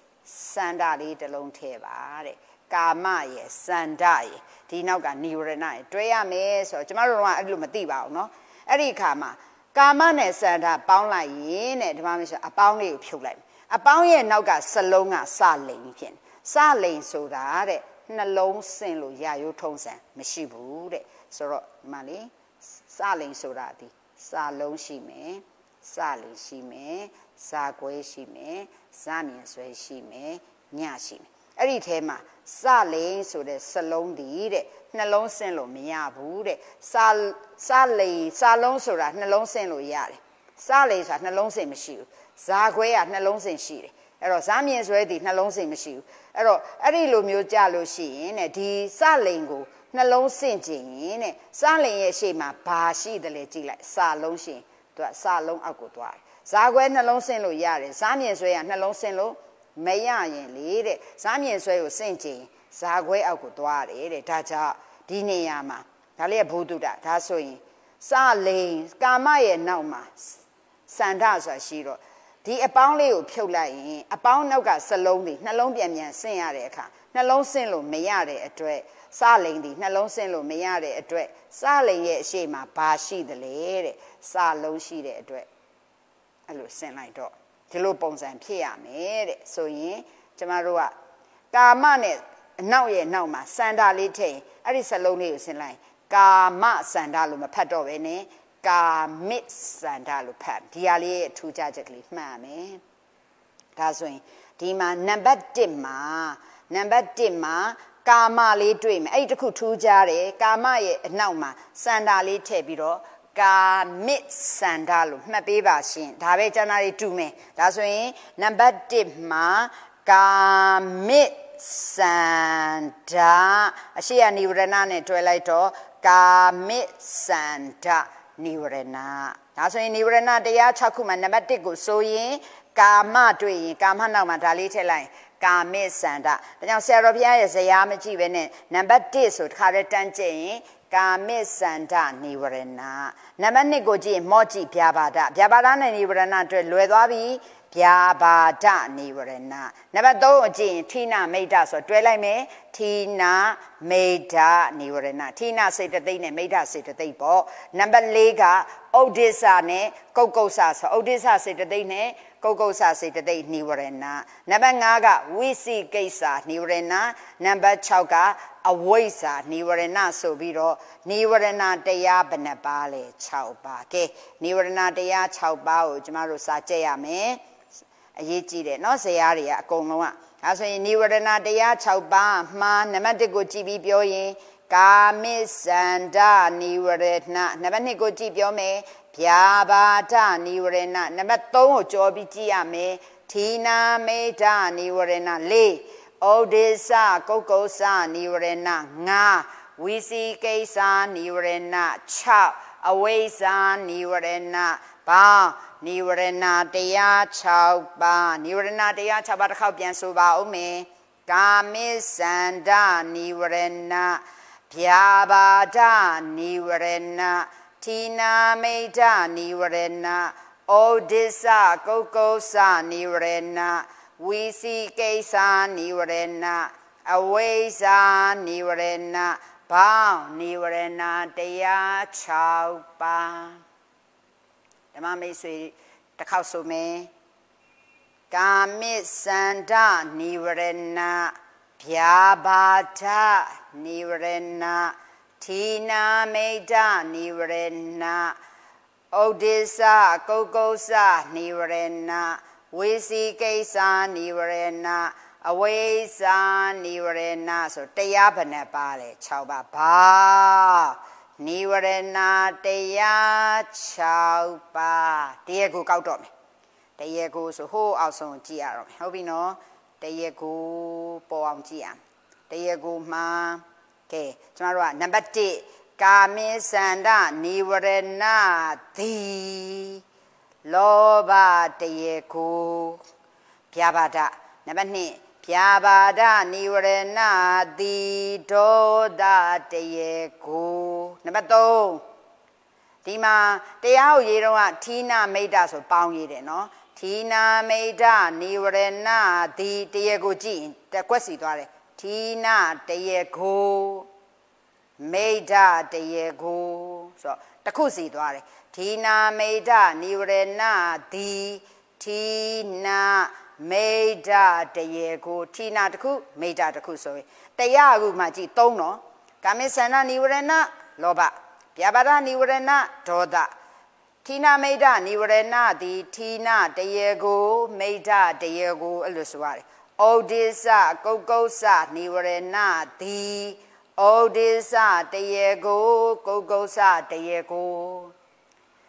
ဆိုတော့တရားကတော့တခုတည်းတရားကိုကွဲသွားပြီနော်ဒါဆိုရင်တရား1 2 3 4တရားကိုကြည့်ရင်1 2 3 4 5 6 6ခုရှိသွားပြီနော်ကဲလာပြီနံပါတ်နံပါတ်4ပြီးနံပါတ်5ဝီစီကိစ္စနိဝရဏတိဝီစီကိစ္စတရေကိုတရား5ဒီမှာ6ဘာဖြစ်သွားပြီနော် ကဲနောက်တစ်ခါအဝိဇ္ဇာနိဝရဏတိမောဟတရေကိုဆိုရင်တရား6ခုတရေကိုရေတွက်ကြည့်မယ်ဆိုရင် လောဘဒေါ2 3 4 5 6 8အဲတော့တရေကိုကြရင်ဘယ်လောက်ဖြစ်သွားလဲ10ပါးရဤတရေကိုပေါင်း10ပါးအဲ့ဒါကိုဆိုရမှာဒါဆိုရင်ဘယ်အကြောက်10ပါးဖြစ်လဲဆိုရင်တရားမှာဌိနာမိတ်္ဒနိဝရဏတရားတစ်ခုတည်းဌိနာမိတ်္ဒပေါင်းတဲ့တရားတစ်ခုနိဝရဏ တရားကိုကြတော့ဌိနာတရားကိုမိတ်္ဒတရားကိုနှစ်ခု꿰သွားတယ်ဩဒိသကုတ်ကုတ်စနိဝရဏတရားကိုကြရင်ဩဒိစ္စတရေကိုကုတ်ကုတ်စတရေကိုခွဲပြောရဒါကြောင့်တရေကို၈ပါးကဲဒါဆိုရင်ကျမတို့တရေကိုပြန်ပြောမယ်ကာမေသန္ဒနိဝရဏသီလောဘတရေကိုဗျာပါဒနိဝရဏသီဒေါသတရေကို ဌိနာမိတ်ဒနိဝရဏသီဌိနာတရေကိုမိတ်ဒတရေကိုဩဒိစ္စကုတ်ကုတ်စနိဝရဏတိဩဒိစ္စတရေကိုကုတ်ကုတ်စတရေကိုဝီစီကိစ္စနိဝရဏတိဝီစီကိစ္စတရေကိုအဝိဇ္ဇာနိဝရဏသည်မောဟတရေကိုဘောင်းတရေကိုရှစ်ပါးရ၏ တရားအနေနဲ့6ပါးတရားကိုအပြင်10ပါးစာမေးပွဲမှာတရားက6တရားထက်များနေတဲ့တရားဆိုအဲ့ဒါနိဝရဏပဲတရားက6တရားကိုက10အာတဝတော့ကတရားက4တရားကိုက3ဆိုတော့တရားထက်တရားကိုနည်းတယ်ဩက4တရားကို3ယောဂတရား4တရားကို3တရားက4တရားကိုက3ဆိုတော့တရားထက်တရားကိုနည်းတာဆိုတာဂန္ဓက4 တရားကိုက3ဆိုရင်တရားက4တရားကိုက3ဆိုတရားတဲ့တရားကိုနဲတာပဲဥပါဒံတရား4တရားကို2ဆိုတရားတဲ့တရားကိုနဲတယ်ဒီမှာကြည့်ရင်တရားက6တရားကိုက8ဆိုတရားတဲ့တရားကိုများသွားတာဟာဒီတစ်ခုရှိတယ်အဲ့ဒါမှတ်ထားနော်အဲ့ဒါတစ်ခုကထူးခြားချက်ဆိုစာမေးပွဲမှာဒီနေရာတစ်ခါမေးပြန်တယ်တရားတဲ့တရားကိုများတော့တရားကိုပြောပါဆိုနိဝရဏ နိဝရဏတရားသည်6ပါးတရားကိုကြည့်ရင်10ပါး꿰သွားတယ်ဒါဆိုရင်တစ်ခေါက်တရားရောတရားကိုရောတစ်ခါစီဆိုမယ်နော်နိဝရဏတရား6ပါးကိုပူဇော်ပါကာမိစန္ဒနိဝရဏဗျာပါဒနိဝရဏသီနာမိတ်ဒနိဝရဏအဲ့ဒါကိုရေးတဲ့ခါကျရင်သီနာ dash လေးခံမိတ်ဒသူကနှစ်ပါးပေါင်းဇုံတွဲနော်သီနာမိတ်ဒနိဝရဏ ဩဒိသကုတ်ကုတ်စနိဝရဏဩဒိသဆိုတာမောစတုတ်လေးထဲမှာပါတယ်ကုတ်ကုတ်စဒေါစတုတ်လေးထဲမှာပါတယ်ဟုတ်ရဲ့လားမောစတုတ်လေးပါမှာမောဟအိရိကနုတ္တပဩဒိသသူကနောက်ဆုံးဒေါစတုတ်လေးပါမှာဒေါသအိတ်မစ္စရိယကုတ်ကုတ်စနောက်ဆုံးဒါဆိုရင်မောစတုတ်လေးရဲ့နောက်ဆုံးရယ်ဒေါစတုတ်လေးရဲ့နောက်ဆုံးရယ်တွဲထားတာ။ကြောင့်ဩဒိသကုတ်ကုတ်စနိဝရဏဝိသိကိစ္စနိဝရဏ အဝိဇ္ဇာနိဝရဏဘောင်းနိဝရဏတရား6ပါးတရားကိုကောက်မယ်ကာမေသန္နနိဝရဏသည်လောဘတရားကိုဖြာပါဒနိဝရဏသည်ဒေါသတရားကိုသီနာမိဋ္ဌနိဝရဏသည်သီနာတရားကိုမိဋ္ဌတရားကိုနှစ်ခု꿰သွားတယ် ဩဒေသကုတ်ကုတ်စနိဝရဏသည်ဩဒေသတရားကိုကုတ်ကုတ်စတရားကိုဝိစီကိစ္စနိဝရဏသည်နာမည်တူရဲ့ဝိစီကိစ္စတရေကိုအဝိဇ္ဇာနိဝရဏသည်မောဟတရေကိုအဝိဇ္ဇာနိဝရဏသည်တရားအဝိဇ္ဇာတရေကိုကြတော့မောဟတရေကိုဘာတရေကိုရှစ်ပါးရဤရပြီနော်အရေးကြီးတယ်နော်ကြည်ရမယ်ကဲနိဝရဏပြီးသွားရင်ကျမတို့က အနုတယရှုပ်သွားမှာဆိုလို့ကျမဖြတ်ပေးတာနော်ကဲအနုတယအနုတယတရားဘယ်နှပါလဲကြည်အနုတယတရား9ပါး အနုတယတရား9ပါးကိုအခုကျမတို့ကြည့်အစဉ်အတိုင်းပဲတဲ့သူကတော့ကြော်မနေဘူးတဲ့ခုကခုန1နဲ့3လေးရေးတာကြော်နေလို့ရေးပေးတာတရားအစဉ်အတိုင်းမှတ်အောင်ဇရာကြတော့အစင်မကြနေကြ1နှစ်3လေးဆရာတော်ဖေကတက်ပေးတယ်အခုနုတယတရား9ပါးတော့ဇရာတိုင်းပဲတဲ့အစင်တိုင်းသာဆိုသွားတယ်ဆိုရင်အခုကျမတို့ကြည့်ရင်အနုတယတရား9ပါးကိုကြည့်ဒီမှာပထမဆုံးတုံးလေးတွေ့မယ်အဲ့ဒါဘာလဲဆိုတော့ကာမနံပါတ်နောက်တုံးလေးတွေ့မယ်ဘဝ နောက်တုံးလေးတွေ့မယ်ပဋိကတုံးလေးမဟုတ်စာလေးရေးထားတယ်ပဋိကနောက်တုံးလေးတွေ့မယ်မော့ကြည့်လိုက်ရင်မာနနောက်တုံးလေးတွေ့မယ်မော့ကြည့်လိုက်ရင်ဒိဋ္ဌိနောက်တုံးလေးတွေ့မယ်မော့ကြည့်လိုက်ရင်ဝိသိကိစ္စနောက်တုံးလေးတွေ့မယ်မော့ကြည့်လိုက်အဝိဇ္ဇာအဲ့ဒီခုနှစ်ပါးကိုဆိုရမယ်တဲ့ဆိုတဲ့အခါကြာရေးနဲ့နိဝရဏတော့ကကြတော့ကာမရဲ့နောက်မှာဘာလေးထည့်ပေးရမလဲဆိုရင်စန္ဒာလေးကာမရဲ့နောက်တုံးကဆိုတော့ကနိဝရဏတုံးကလေ ကာမရဲ့နောက်မှာစန္ဒာလေးထည့်ပြီးတော့ကာမိစန္ဒဆိုရမယ်တဲ့အခုကြရင်တဲ့အနုတယတို့ကြလို့ရှိရင်ကာမလို့တွေ့မယ်ကာမလို့တွေ့ရင်အဲ့ဒီနေရာကြရင်ရာဂလေးထည့်ပြီးမယ်အဲ့တော့ဒီနေရာလေးမှာဒီမှာလဲထူးခြားချက်ရှိပြန်ရောဒါဆိုရင်အနုတယကိုတွေ့လို့ရှိရင်ဒီမှာအနုတယအနုတယတရားအနေနဲ့ရည်ရင်သူက9ပါးထမဆုံးနံပါတ်1စတွေ့မှာကာမ နံပါတ်2တွေ့မှာဘဝနံပါတ်3တွေ့မှာဒိဋ္ဌိအဲ sorry နံပါတ်3ကပဋိကပဋိကဆိုတာကြားဘူးလားဓမ္မမိတ်ဆွေများပဋိကဆိုတာဒေါသလေနော်ဒေါသမှုစိတ်ထဲမှာပဋိကတံပြုတ်ဆိုတာပါတယ်လေနော်အဲ့ဒါလေးမှတ်ထားလိုက်ပတိကနံပါတ်4တုန်းကတွေ့မှာကမာနနံပါတ်5ကြလို့ရှိရင်ဒိဋ္ဌိ ဒါတွေကရေးကြရမှာဓမ္မမိတ်ဆွေများကြီးအစဉ်တိုင်းလေးရရမယ်ပြီးရင်နံပါတ်6နံပါတ်6ကိုကြည့်မော့ကြည့်လိုက်ဝိသိကိစ္စ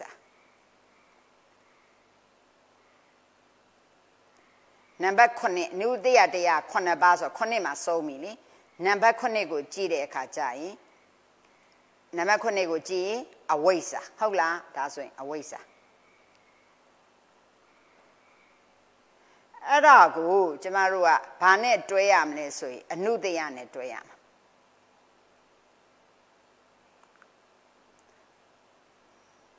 ခုကျမတို့အဘိဓမ္မာတတိယစဉ်အခုသင်နေဆိုတော့စလုံးပေါင်းနေနည်းနည်းခက်လာပြီရေးကိုကြည့်ရမယ်ကျမတို့အတွက်စိမ့်နေသောစလုံးတွေဖြစ်နေတဲ့အတွက်ကျမတို့ကျမတို့တုန်းကလည်းအဲ့ဒါကိုရေးကြည့်ရတယ်ကျမတို့တုန်းကကြတော့ စာရွက်ကအရန်ရှားတဲ့ခစ်တွေလေစက်ကူအရန်ရှားတဲ့ခစ်တွေဆိုတော့ကျမတို့အဲ့ဒီတော့စက်ကူတွေဘာတွေကရွှေနဲ့ဆက်ပြီးဝယ်ရတာနိုင်ငံခြားကနေလှမ်းပြီးဝယ်ရတယ်မြန်မာနိုင်ငံမှာစက်ကူတွေဘာတွေမထုတ်နိုင်အဲ့တော့ရွှေနဲ့ဆက်ပြီးဝယ်ရကြအောင်ကျမတို့စာနယ်ဇင်းတွေကျမတို့ဆိုဓမ္မဗျူဟာမဂ္ဂဇင်းပေါ့နော်စာနယ်ဇင်းတွေထုတ်တဲ့အခါကြလို့ရှိရင်ခွဲတန်းနဲ့ကျမတို့ကစက်ကူကိုရကြတာအဲရတဲ့အခါကျရင်လည်းစက်ကူကိုကျမတို့ကအုပ်ရည်စာအုပ်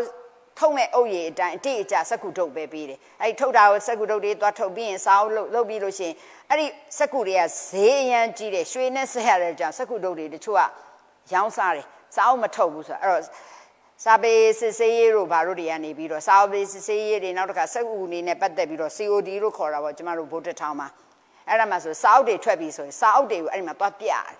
သူတို့ပြောတဲ့အုပ်ရည်အတိုင်းဒီစက်ကူတုတ်ကထုတ်ရလားဆိုတော့သွားပြအဲ့တော့ကျမတို့အရင်ကဆိုဒေါချစ်ကားကြီးနဲ့စက်ကူတုတ်တွေသဲအဲကျမကိုယ်တိုင်သွားရတာအဲ့ဒါသွားပြီးသွားပြပြတယ်ဆိုရင်အဲ့အုပ်ရည်အတိုင်းစက်ကူထုတ်ပါတယ်ဆိုတော့မှအဲ့စာအုပ်ကထုတ်ခွင့်ရတယ်အဲ့တော့ပြောချင်တာအဲ့ဒီကျမတို့စာသင်သားခေတ်ဆိုတော့1980လောက်ဖြစ်ပြီပေါ့နော်တတိယဆင်သင်တဲ့အချိန်မှာ1980အဲ့ဒီဘဝတွေတုန်းကစက်ကူကအရန်ရှားတော့စာတက်ချင်တယ်ဆိုရင် စာစက်ကူခုလိုဗလာစာအုပ်တွေပေါ်ပေါ်လောလောမရှိဘူးအဲ့တော့မရှိတော့ကျမတို့ကဘာလို့ ਆ ဆိုတော့စာကြက်ရင်ရှေးတုန်းကဆိုရင်ကြောက်တဲ့မုံနဲ့ကြောက်တဲ့နဲ့ရေးရတယ်ကိုစာကြက်အဲ့ဒီကနေတဆင့်ကြောက်တဲ့မုံနဲ့ကြောက်တဲ့နဲ့ဆိုရင်ကိုကြက်ထားတာတွေကဖြက်ဖြက်ပြစ်လိုက်ရတာဖြစ်နေတဲ့အတွက်သူကကိုကိုကြက်ထားတာလေးလေကြံစေးကျင်တဲ့အခါဘာလို့ ਆ ဆိုစက်ကူကရှားတော့ရှားတာရှားတဲ့အခါကျရင်ပြက်ကလေးနေပြက်ကလေးနေမှာတချို့ကနှစ်ဖက်ရိုက်တယ်တချို့ကတစ်ဖက်ပဲရိုက်တယ်ဆိုအဲ့ပြက်ကလေးရဲ့နောက်ကျောတွေမှာရေးကြရတယ်အဲ့တော့ဆိုလိုတာကျ မတို့အဘိဓမ္မာစာသင်သားဘဝမှာလည်းဒီစလုံးတွေကကိုနဲ့စိမ့်တဲ့အချိန်မှာရေးကြရပါတယ်ခုဓမ္မမိတ်ဆွေတို့လည်းရေးကြပါဓမ္မမိတ်ဆွေတို့ကြတော့စက်ကူမရှားတော့ဘူးအဲ့တော့စက်ကူမရှားတော့စောင်းနဲ့လည်းရေးလို့ရတယ်ဗလာစောင်းတွေနဲ့ရေးလို့ရတယ်ရေးကြပါနော်အဲ့တော့မင်းကုံမှာကြောက်ရင်ခဲတာနဲ့ရေးချက်ပေါ့အဲ့ဒါမှမဟုတ်လို့ရှိရင်လည်းပြက်ကလေးနေဒီတိုင်းလှုပ်ပြရမယ်တူတူဆိုလေရေးချက်ဓမ္မမိတ်ဆွေများဒီအချိန်ကဖယားနှုတ်တော်အတွက် ဒီတရားတွေကိုသိအောင်ရဲ့စလုံးတွေရဲ့နောက်တစ်ခါသင်လာမယ်အတိပ္ပယ်တွေသင်လာရင်ဒါတွေဒီကို့မှာဖြစ်သောတရားတွေအကြောင်းသင်ရမယ်ဒါဆိုရင်စာလေးလက်ကြက်ချေအောင်နည်းနည်းလေးစကဒံလေးရှည်ပေးတာဒါကြောင့်ကာမနဲ့အခုကျမတို့ကအနုတယနဲ့ပေါင်းပါဘဝနဲ့အနုတယပေါင်းမယ်ပဋိကနဲ့အနုတယပေါင်းမယ် မာနနဲ့အနုတယပေါင်းမယ်ကျမတို့တော့ကတော့မသိပါဘူးဒီတိုင်းပဲအလွတ်ကျက်ခဲ့ရတာလေခုဓမ္မမိတ်ဆွေတို့စာလေးလဲကြက်ရင်းနဲ့အော်တရားတော်တွေမှာပါဠိစကားလုံးတွေမှာတစ်လုံးနဲ့တစ်လုံးပေါင်းလိုက်ရင်ဘလို့ဖြစ်သွားသလဲဆိုတာသိအောင်ကျမတို့ကတော့အဲ့ဒါတွေမသိဘဲနဲ့အလွတ်ကျက်ပေါ့နော်ဒီထဲမှာပါတာတွေအလွတ်ရေးကျက်ပြီးတော့ပြီးသွားရောဆိုတော့အခုဓမ္မမိတ်ဆွေတို့သိစေချင်အနုတယလို့ပြောတဲ့အတွက်ကြောင့်အဲ့ဒီမှာအလေးပါမနေဘူးလားအဲ့ဒါအတရ ဒီမှာအတရလေးတွေပါတယ်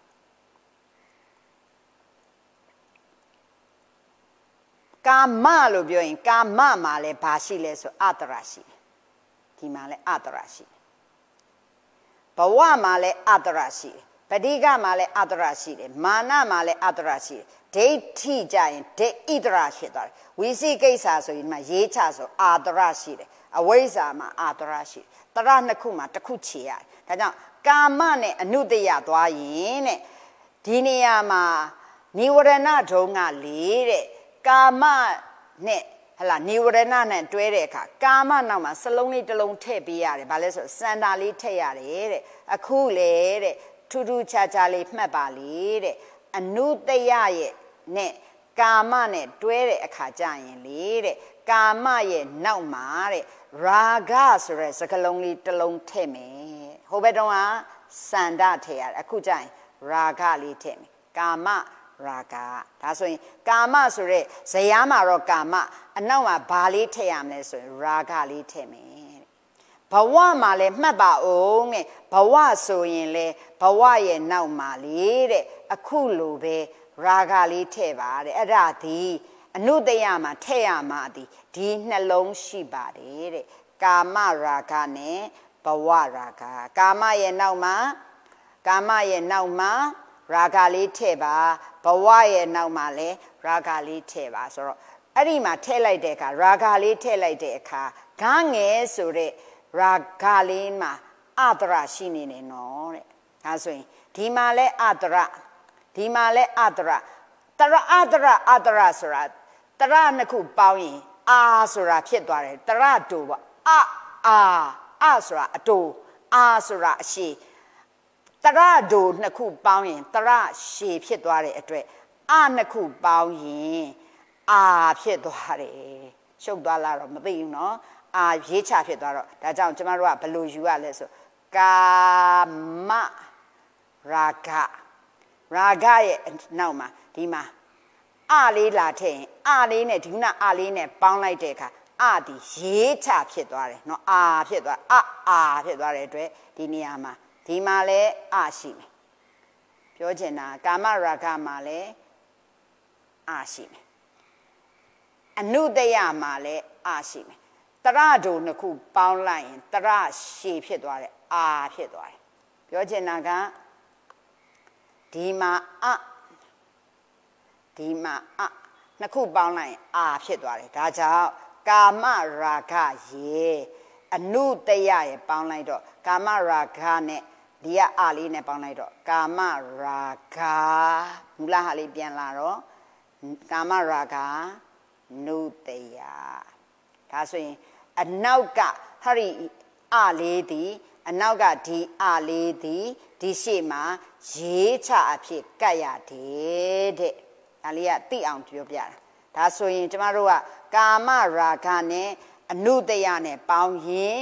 ဒီမှာဒါလေးကိုဒါလေးကိုကျမတို့ကဖြတ်ကြည့်လိုက်ရင်ဒီလိုဖြတ်ကြည့်လိုက်ဒါရေးချအဲ့ဒီရေးချအလေးရနေသွားတာဒါကြောင့်အဲ့ဒီအလေးကဘယ်လိုလုပ်ဒီမှာဖြစ်သွားလဲဆိုဒီရှေ့မှာလည်းအရှိလို့တော့ထားလိုက်တော့ပေါင်းလိုက်ရင်ကာမရာဂနဲ့အနုတယပေါင်းလိုက်ရင်ကာမရာဂနုတယဘဝရာဂနဲ့အနုတယပေါင်းလိုက်ရင်ဘဝရာ ခါနဲ့အနုတယပေါင်းလိုက်တော့ဘဝရာဂနုတယဒါကြောင့်စာကြက်ရင်အနုတယတရား9ပါးမှာကာမရာဂနုတယဘဝရာဂနုတယဒါဆိုရင်ပဋိကနဲ့ပေါင်းတော့မယ်ပဋိကနဲ့ပေါင်းရင်ဒီမှာကပဋိကအနောက်ကအနုတယကဒီကရေးချလေးဖြစ်တဲ့အတွက်ပဋိကဟော ခုနလေးနဲ့ဆိုတော့ပဋိကနုတယရေးကြရမှာကဲမာနနဲ့ပေါင်းခဲ့မယ်ဆိုရင်ဘာဖြစ်မလဲမာနမာအနုတယလေးကရေးချနေနဲ့လိုက်တော့မာနာနုတယဟောဒိဋ္ဌိနဲ့လာတော့မယ်ဒိဋ္ဌိနဲ့လာရင် ဒိဋ္ဌိကလုံကြီးတင်ကိုဖြုတ်လိုက်တယ်ဖြုတ်လိုက်ပြီးတော့လုံကြီးတင်ကိုခြေလိုက်တယ်ခြေလိုက်တော့ဒီမှာရေးချလေးလာလိုက်တော့ဒိဋ္ဌာရနဲ့တွဲလိုက်တော့နုတေယတခါဝိသိကိစ္စနဲ့တွဲလိုက်တော့ဝိသိကိစ္စမှာဒီမှာရေးချရှိတယ်ဒီမှာအရှိဆိုဝိသိကိစ္စရေးချလေးကိုဖြုတ်လိုက်တယ်ဒါဆိုရင်သူ့တွဲရင်ဝိစီ ကေစဒီကအနုတရလေးကဒီမှာရေးချလေးလာလိုက်တော့ဝီစီကိစ္စနုတရအဝိဇ္ဇာနဲ့တွဲမယ်ဆိုရင်အဝိဇ္ဇာနဲ့တွဲရင်အဝိဇ္ဇာရရေးချလေးကိုဒီမှာရေးချတစ်ခုပို့တော့ရေးချတစ်ခုဖြဲဖြက်လိုက်တယ်ဒီကအနုတ္တရလေးကရေးချလေးဖြစ်သွားမယ် ဒါလေးနဲ့တွက်လိုက်တော့အဝိဇ္ဇာနုတ္တယဒါဆိုရင်ရေးပုံလေးကိုအာယုံပြုကဲကျမတို့ပြောမယ်ကာမရာဂနဲ့အနုတ္တယပေါင်းရင် ကာမရာဂအနုတ္တယဘဝရာဂနဲ့ပေါင်းရင်ဘဝရာဂနုတယပဋိကနဲ့ပေါင်းရင်ပဋိကာနုတယမာနနဲ့ပေါင်းရင် မာနာနုတယဒိဋ္ဌိနဲ့ပေါင်းရင် ဒိဋ္ဌာနုတယဝိသိကိစ္စနဲ့ပေါင်းရင်ဝိသိကိစ္စနုတယအဝိဇ္ဇာနဲ့ပေါင်းရင်အဝိဇ္ဇာနုတယဆိုပြီးတော့အနုတယတရားဘယ်နှပါလဲပြောရင်အနုတယတရားအနုတယတရား9ပါးအနုတယတရားခုနှစ်ပါးကိုပြောပါကာမရာဂာနုတယဘဝရာဂာနုတယပဋိကာနုတယ မာနာနုတယဒိဋ္ဌာနုတယဝိသိကိစ္စနုတယအဝိဇ္ဇာနုတယဒါတွေကဘေးနားမှာပေါင်းပုံပေါင်းနေရဘုတုတ္တကြက်ရမှာဒါပဲစလုံးပေါင်းမှန်မှန်ကြက်နိုင်ရသွားပြီเนาะဒါဆိုရင်အနုတယတရား9ပါးမှာကာမရာဂ ानु တယဘဝရာဂ ानु တယတတိကာနုတယမာနာနုတယ ဒိဋ္ဌာနုတယဝိစီကိစ္စနုတယအဝိဇ္ဇာနုတယအနုတယတရား9ပါးမိတယ်နော်ကဲအဲ့ဒါလေးကိုနားလည်ပြီဆိုရင်ဒီဘက်ကိုပြန်ကြည့်မယ်ဆရာပြန်ကြည့်မယ်နော်ကဲအနုတယတရား9ပါး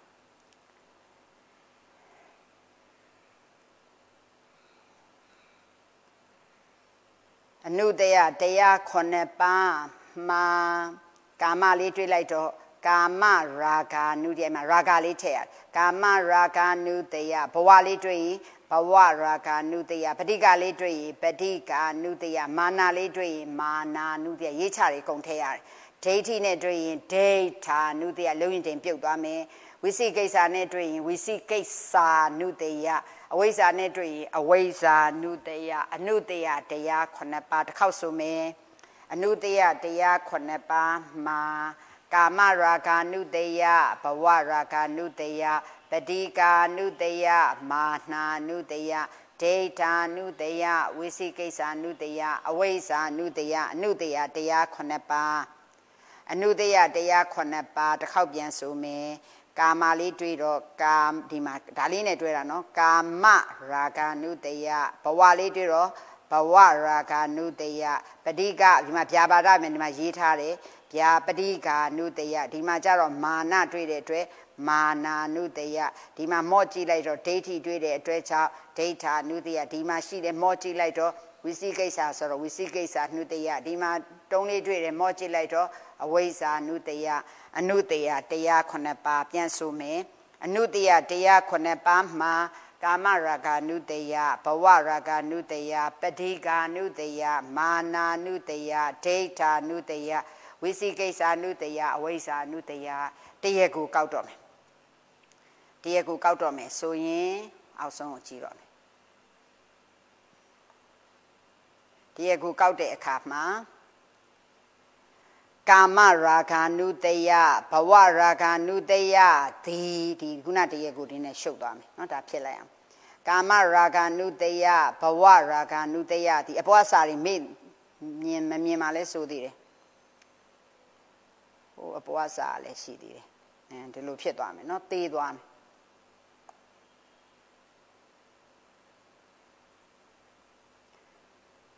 ကာမရာဂ ानु တယဘဝရာဂ ानु တယဒီလောဘတရေကိုပဋိကာနုတယဒီဒေါသတရေကိုမာနာနုတယဒီမာနတရေကို ဒိဋ္ဌာနုတယတိဒိဋ္ဌိတယေကိုဝိသိကိစ္စနုတယတိဝိသိကိစ္စတယေကိုအဝိဇ္ဇာနုတယတိမောဟတယေကိုဆိုတော့တယေကိုဘယ်နှပါလဲဆိုမှာ1 2 3 4 5 6ဒါကြောင့်တယေကိုဆိုဟိုးနောက်မှာတယေကို6ပါးရဤဆိုဟောဒီမှာထူကြပြီတရားဒုံက9ပါးတယေကိုကြရင်6ပါးတရားထက်တယေကိုနည်းတယ် အပေါ်တော့ကလည်းတရားထဲတရေကိုနဲတယ်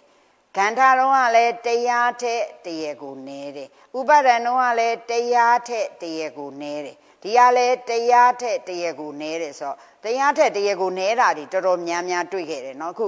နိဝရဏကြတော့တရားထက်တရေကိုများတယ်ဒီတစ်ခုထူးကြတယ်เนาะဒီတစ်ခုကတရားထက်တရေကိုများတယ်ကျန်တာတွေက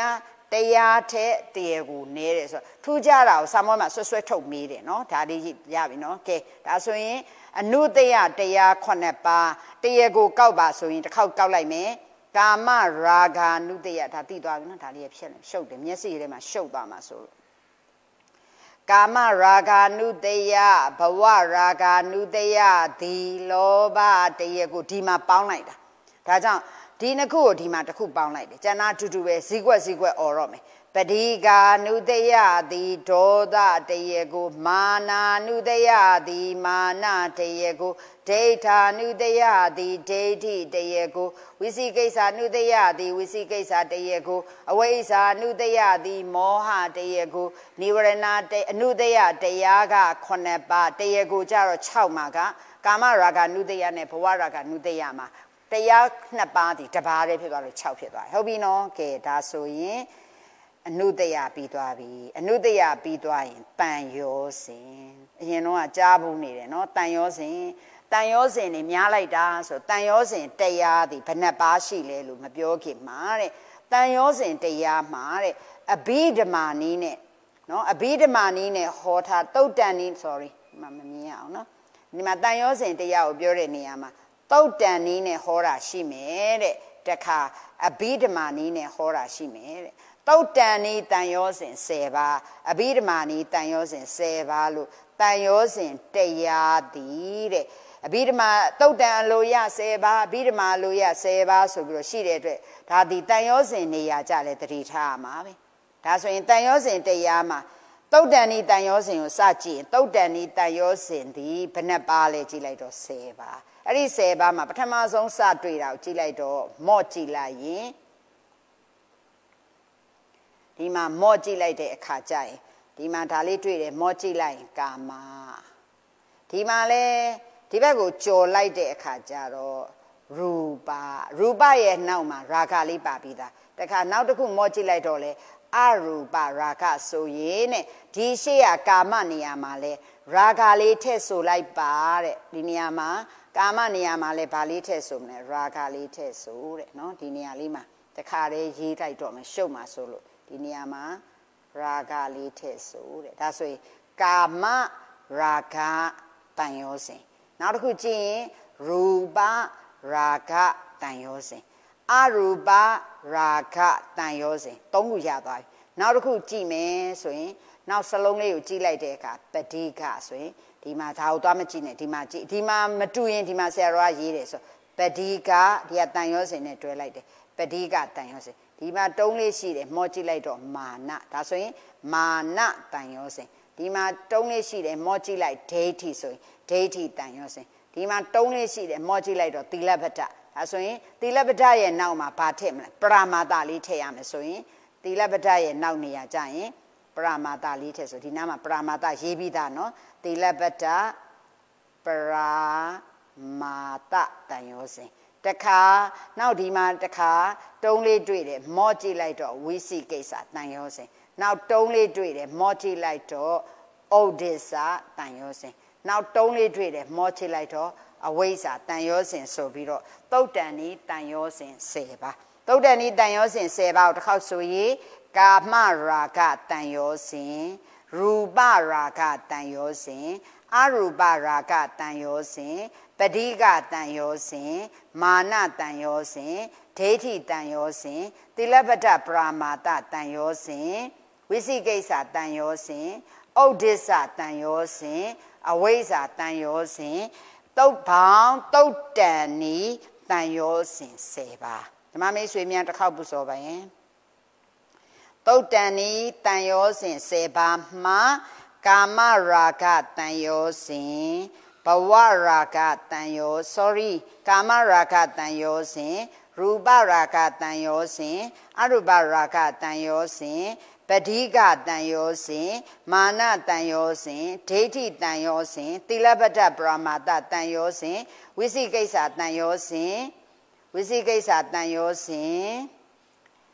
ဩဒိစ္စတန်ရောစဉ်အဝိဇ္ဇတန်ရောစဉ်ဘောင်းတုတ်တန်ဤတန်ရောစဉ်10ပါကဲအဲ့ဒါပြီးသွားရင်အဘိဓမ္မာနီတန်ရောစဉ်ဘိဓမ္မာနီတန်ရောစဉ်ကိုကြည့်ရင်ဒီမှာတုံးလေးတွေ့တယ်မောကြည့်ရင်ကာမရာဂပဲဒါဆိုရင်သူ့ဆိုရင်ကာမရာဂတန်ရောစဉ်ရာဂလေးထည့်ဆိုမယ်နောက်တစ်ခါတုံးလေးတွေ့တယ် မောကြည့်လိုက်ဘဝဆိုသူ့မှာလဲရာဂလေးထည့်ပါတဲ့ဘဝရာဂတန်ရောစဉ်တခါဒီမှာတုံးလေးပဋိကလို့တွေ့ရင်ပဋိကတန်ရောစဉ်ဒီမှာတုံးလေးတွေ့တယ်မောကြည့်မာနဆိုရင်မာနတန်ရောစဉ်ဒီမှာတုံးလေးတွေ့တယ်မောကြည့်လိုက်ဒိဋ္ဌိတန်ရောစဉ်ဒီမှာတုံးလေးတွေ့တယ်မောကြည့်လိုက်တိလပတ္ထပရမတတန်ရောစဉ်အပေါ်နဲ့တူနေနော်နောက်တစ်ခါဒီမှာတုံးလေးတွေ့တယ်မောကြည့်လိုက်တော့အိတ်တာတန်ရောစဉ်နောက်တုံးလေးတွေ့တယ်မောကြည့်လိုက်မယ် မစ္စရိယတန်ရောစဉ်နောက်တုံးလေးတွေ့မယ်မောကြည့်လိုက်ရင်ဝိသိကိစ္စတန်ရောစဉ်နောက်ဒီမှာတုံးလေးတွေ့တယ်မောကြည့်လိုက်ရင်အဝိဇ္ဇာတန်ရောစဉ်ဒါဆိုရင်တုတ်တန်နီတန်ရောစဉ်တွေကိုအခုကျမတို့ဆိုရင်တုတ်တန်နီမဟုတ်အဘိဓမ္မာနီတန်ရောစဉ်တွေဆိုရင်တုံးလေးတွေ့တယ်မောကြည့်လိုက်တော့ကာမရာဂတန်ရောစဉ်နောက်တွေ့ရင်ဘဝရာဂတန်ရောစဉ်နောက်တွေ့မယ် ပဋိကတန်ရောစဉ်ဒီမှာတွေ့မယ်မာနတန်ရောစဉ်ဒီမှာတွေ့မယ်ဒိဋ္ဌိတန်ရောစဉ်နောက်တွေ့မယ်သီလပတ္တပရမတ္တတန်ရောစဉ်အိတ်တာတန်ရောစဉ်မစ္စရိယတန်ရောစဉ်ဝိသိကိစ္စတန်ရောစဉ်အဝိဇ္ဇာတန်ရောစဉ်ဆိုပြီးအဘိဓမ္မာနီတန်ရောစဉ်10ပါအဘိဓမ္မာနီတန်ရောစဉ်10ပါကိုတစ်ခေါက်ပြန်ဆိုရင်ကာမရာဂတန်ရောစဉ်ဘဝရာဂတန်ရောစဉ်ပဋိကတန်ရောစဉ်မာနတန်ရောစဉ်ဒိဋ္ဌိတန်ရောစဉ်သီလပတ္တပရမတ္တတန်ရောစဉ်အိတ်တာတန်ရောစဉ် မစ္စရိယတန်ရောစဉ်ဝိသိကိစ္စတန်ရောစဉ်အဝိဇ္ဇာတန်ရောစဉ်ပေါင်းအဘိဓမ္မာနိတန်ရောစဉ်10ပါတရေကိုကောက်တော့မယ်တရေကိုကောက်တဲ့အခါကျရင်နော်ကာမရာဂတန်ရောစဉ်တုတ်တုတ်တန်ဤကိုအရင်ကောက်ရင်တုတ်တန်ဤကိုကောက်တုတ်တန်ဤကိုကောက်ရင်တုတ်တန်ဤကိုကောက်ရင်ကျမတို့က ကာမရာဂတန်ရောစဉ်ရူပရာဂတန်ရောစဉ်အရူပရာဂတန်ရောစဉ်သည်လောဘတရေကိုပဋိကတန်ရောစဉ်သည်ဒေါသတရေကိုမာနတန်ရောစဉ်သည်မာနတရေကိုဒိဋ္ဌိတန်ရောစဉ်ဒိဋ္ဌိတန်ရောစဉ်သည်ဒိဋ္ဌိတိလပတ္ထပရမတတန်ရောစဉ်သည်ဒိဋ္ဌိဆိုပေါင်းကပ်လိုက်မယ် ဒိဋ္ဌိတန်ရောစဉ်တိလပတ္ထပရမတတန်ရောစဉ်သည်ဒိဋ္ဌိတရေကိုဒီနေရာမှာဝိသိကိစ္စတန်ရောစဉ်သည်ဝိသိကိစ္စတရေကိုဒီမှာဩဒိစ္စတန်ရောစဉ်သည်ဩဒိစ္စတရေကိုအဝိဇ္ဇာတန်ရောစဉ်သည်မောဟတရေကိုဆိုရင်တုတ်တန်ဤတန်ရောစဉ်သည်တရေကိုပြောရင်1 2 3 4 5 6ခွန်ဆိုရင်တရေကို9ပါးရ၏ ဒါဆိုရင်တုတ်တန်ဤတန်ရောစဉ်10ပါးတရေကိုကောက်ပြပါဆိုရင်ကာမရာဂတန်ရောစဉ်ရူပရာဂတန်ရောစဉ်အရူပရာဂတန်ရောစဉ်သည်လောဘတရေကိုပဋိကတန်ရောစဉ်သည်ဒေါသတရေကိုမာနတန်ရောစဉ်သည်မာနတရေကိုဒီမှာပေါင်းတော့မယ်ဒိဋ္ဌိတန်ရောစဉ်သီလပတ္တပရမာတတန်ရောစဉ်သည်ဒိဋ္ဌိတရေကို ဝိသိကိစ္စတန်ရောစဉ်သည်ဝိသိကိစ္စတရေကိုဩဒိစ္စတန်ရောစဉ်သည်ဩဒိစ္စတရေကိုအဝိဇ္ဇာတန်ရောစဉ်သည်မောဟတရေကိုဆိုပြီးတော့တုတ်တန်ဤတန်ရောစဉ်သည်တရားအနေနဲ့10ပါးတရေကို9ပါးရ၏ရပြီနော်ကဲအဘိဓမ္မာနီတန်ရောစဉ်သွားမယ်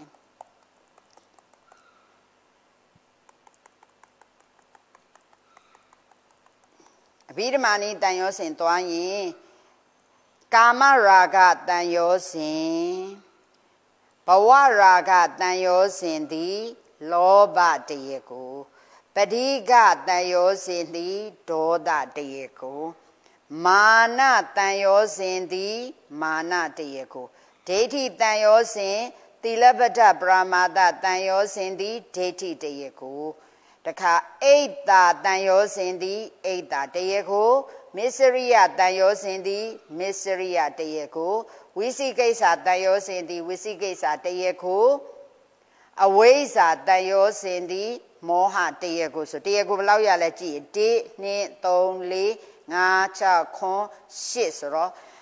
အဘိဓမ္မာနီတန်ရောစဉ်ကတရားအနေနဲ့10ပါတရကိုကြတဲ့အခါကျရင်8ပါဒါဆိုရင်အဘိဓမ္မာနီတန်ရောစဉ်ကတရား30 တရကို8တုတ်တန်တန်ရောစဉ်ကတရား10ပါတရကို9เนาะဒါလေးကိုဓမ္မမေးဆွေတို့ထူးခြားချက်ကလေးတတိထားပြီးတော့အဲ့ဒါစပြန်နှွေးเนาะကဲနောက်ဆုံးလေးတစ်ခုပဲကြံတော့တယ်နည်းနည်းလေးသွားလိုက်မယ်ကိလေသာเนาะကိလေသာဒါတွေရှုပ်ထွေးနေမှာဆိုတော့ဒါတွေဖြတ်လိုက်ပြီးကိုကကိုဟလာကျမတို့သင်တန်းချိန်ပြီးသွားလို့ကိုကကိုစာလေးတော့နည်းနည်းဖတ်ထားเนาะနောက်အပတ်ဒီကျမတို့ဆက်ကြည့်ရင်ရသွားကဲကိလေသာ ကိလေသာတရားကိလေသာတရား10ပါလွယ်တယ်သူက1နှစ်3နှစ်သွားမယ်1လောဘလောဘကိလေသာ2ဒေါသကိလေသာ3မောဟကိလေသာ4မာနကိလေသာမော့ကြည့်လိုက်မာနเนาะဒီမှာမော့ကြည့်လိုက်ရင်ဒီမှာမာနဒီမှာနံပါတ်5မော့ကြည့်လိုက်ဒိဋ္ဌိကိလေသာနံပါတ်6မော့ကြည့်လိုက် ဝိသိကိစ္စကိလေသာနံပါတ်9မောကြည့်လိုက်ထိနာကိလေသာနံပါတ်10မောကြည့်လိုက် sorry ဩဒိစ္စကိလေသာနံပါတ်9မောကြည့်လိုက်အာဟိရိကကိလေသာနံပါတ်30မောကြည့်လိုက်အနုတ္တပကိလေသာဒါပဲဒါဆိုကိလေသာတရား10ပါးမှာလောဘကိလေသာဒေါသကိလေသာ မောဟကိလေသာမာနကိလေသာဒိဋ္ဌိကိလေသာဝိသိကိစ္စကိလေသာဌိနကိလေသာဩဒိစ္စကိလေသာအာဟိရိကကိလေသာအနုတ္တပကိလေသာဘာကိလေသာတရား7ပါးတရားကိုကောက်တော့မယ်တရားကိုကောက်ရင်လောဘကိလေသာသည်တော့ကြည့်လောဘတရားကို ဒေါသကိလေသာသည်ဒေါသတရေကိုမာနကိလေသာသည်မာနတရေကိုဒိဋ္ဌိကိလေသာသည်ဒိဋ္ဌိတရေကိုဝိစီကိစ္စကိလေသာသည်ဝိစီကိစ္စတရေကိုဌိနကိလေသာသည်ဌိနတရေကိုဩဒိစ္စကိလေသာသည်ဩဒိစ္စတရေကိုအာရိကကိလေသာသည်ခုနမောဟကိလေသာသည်ကြော်ပါတယ်နော်မောဟကိလေသာသည်မောဟတရေကိုဒါလေးကြံသွားတယ်နော် အာယရိကကိလေသာသည်အာယရိကကိတရေကိုအနုတ္တပကိလေသာသည်အနုတ္တပကိလေသာတရေအနုတ္တပတရေကိုဘာကိလေသာသည်တရားကလည်း10ပါတရေကို10ပါအဲ့တော့လွဲနေတော့သူကဈေးကွက်ဈေးကွက်អော်တဲ့အတွက်ကိလေသာ10ပါတရေကို10ပါရယူလို့ပေါင်းလိုက်ရုံပဲကဲကျမတို့ဒီနေ့တလောက်နဲ့ရက်ပါမယ် နောက်ပတ်တည်ကြလို့ရှိရင်ထပ်ပြီးတော့ဒါကိုချီမယ်ခြေနိုင်အောင်ဓမ္မမိတ်ဆွေများဘက်ကလည်းစူးစမ်းထားပါเนาะကျမဆိုရိုးလဲအတိတ်ပဲရောနှစ်ခုစလုံးသင်ရမှာဆိုတော့နည်းနည်းတော့ပင်ပန်းနဲ့ဓမ္မမိတ်ဆွေများစူးစမ်းပြီးเนาะတော့နောက်တစ်ပတ်လာတဲ့အခါကျရင်ကျမတို့ကဒါကိုတစ်ခေါက်ပြန်ဆိုပြီးရင်ကျမအတိတ်ပဲသင်တော့မယ်เนาะဒီအအကုတလသင်္ဟဇယားသည်ကျမတို့မိမိအတွက်ကောเนาะ ဟလာစာမေးပွဲအတွက်ကိုအရန်အရေးကြီးသောဇရာတစ်ခုဆိုတော့ကြက်ကိုကြက်ရမယ်စလုံးမောင်းနေရေးချက်ထားပါနော်ကဲတပါမိတ်ဆွေများမင်္ဂလာပေါင်းနဲ့ပြည့်စုံကြပါစေကိုစိတ်နှဖျားကျမ်းမာချမ်းသာကြပါစေတက်ရှိကျမ်းမာစွာဖြင့်တတော်ကောင်းတရားများစတဲ့တပူပွားတူအားထုတ်ကျင့်ကြံနိုင်ကြပါစေ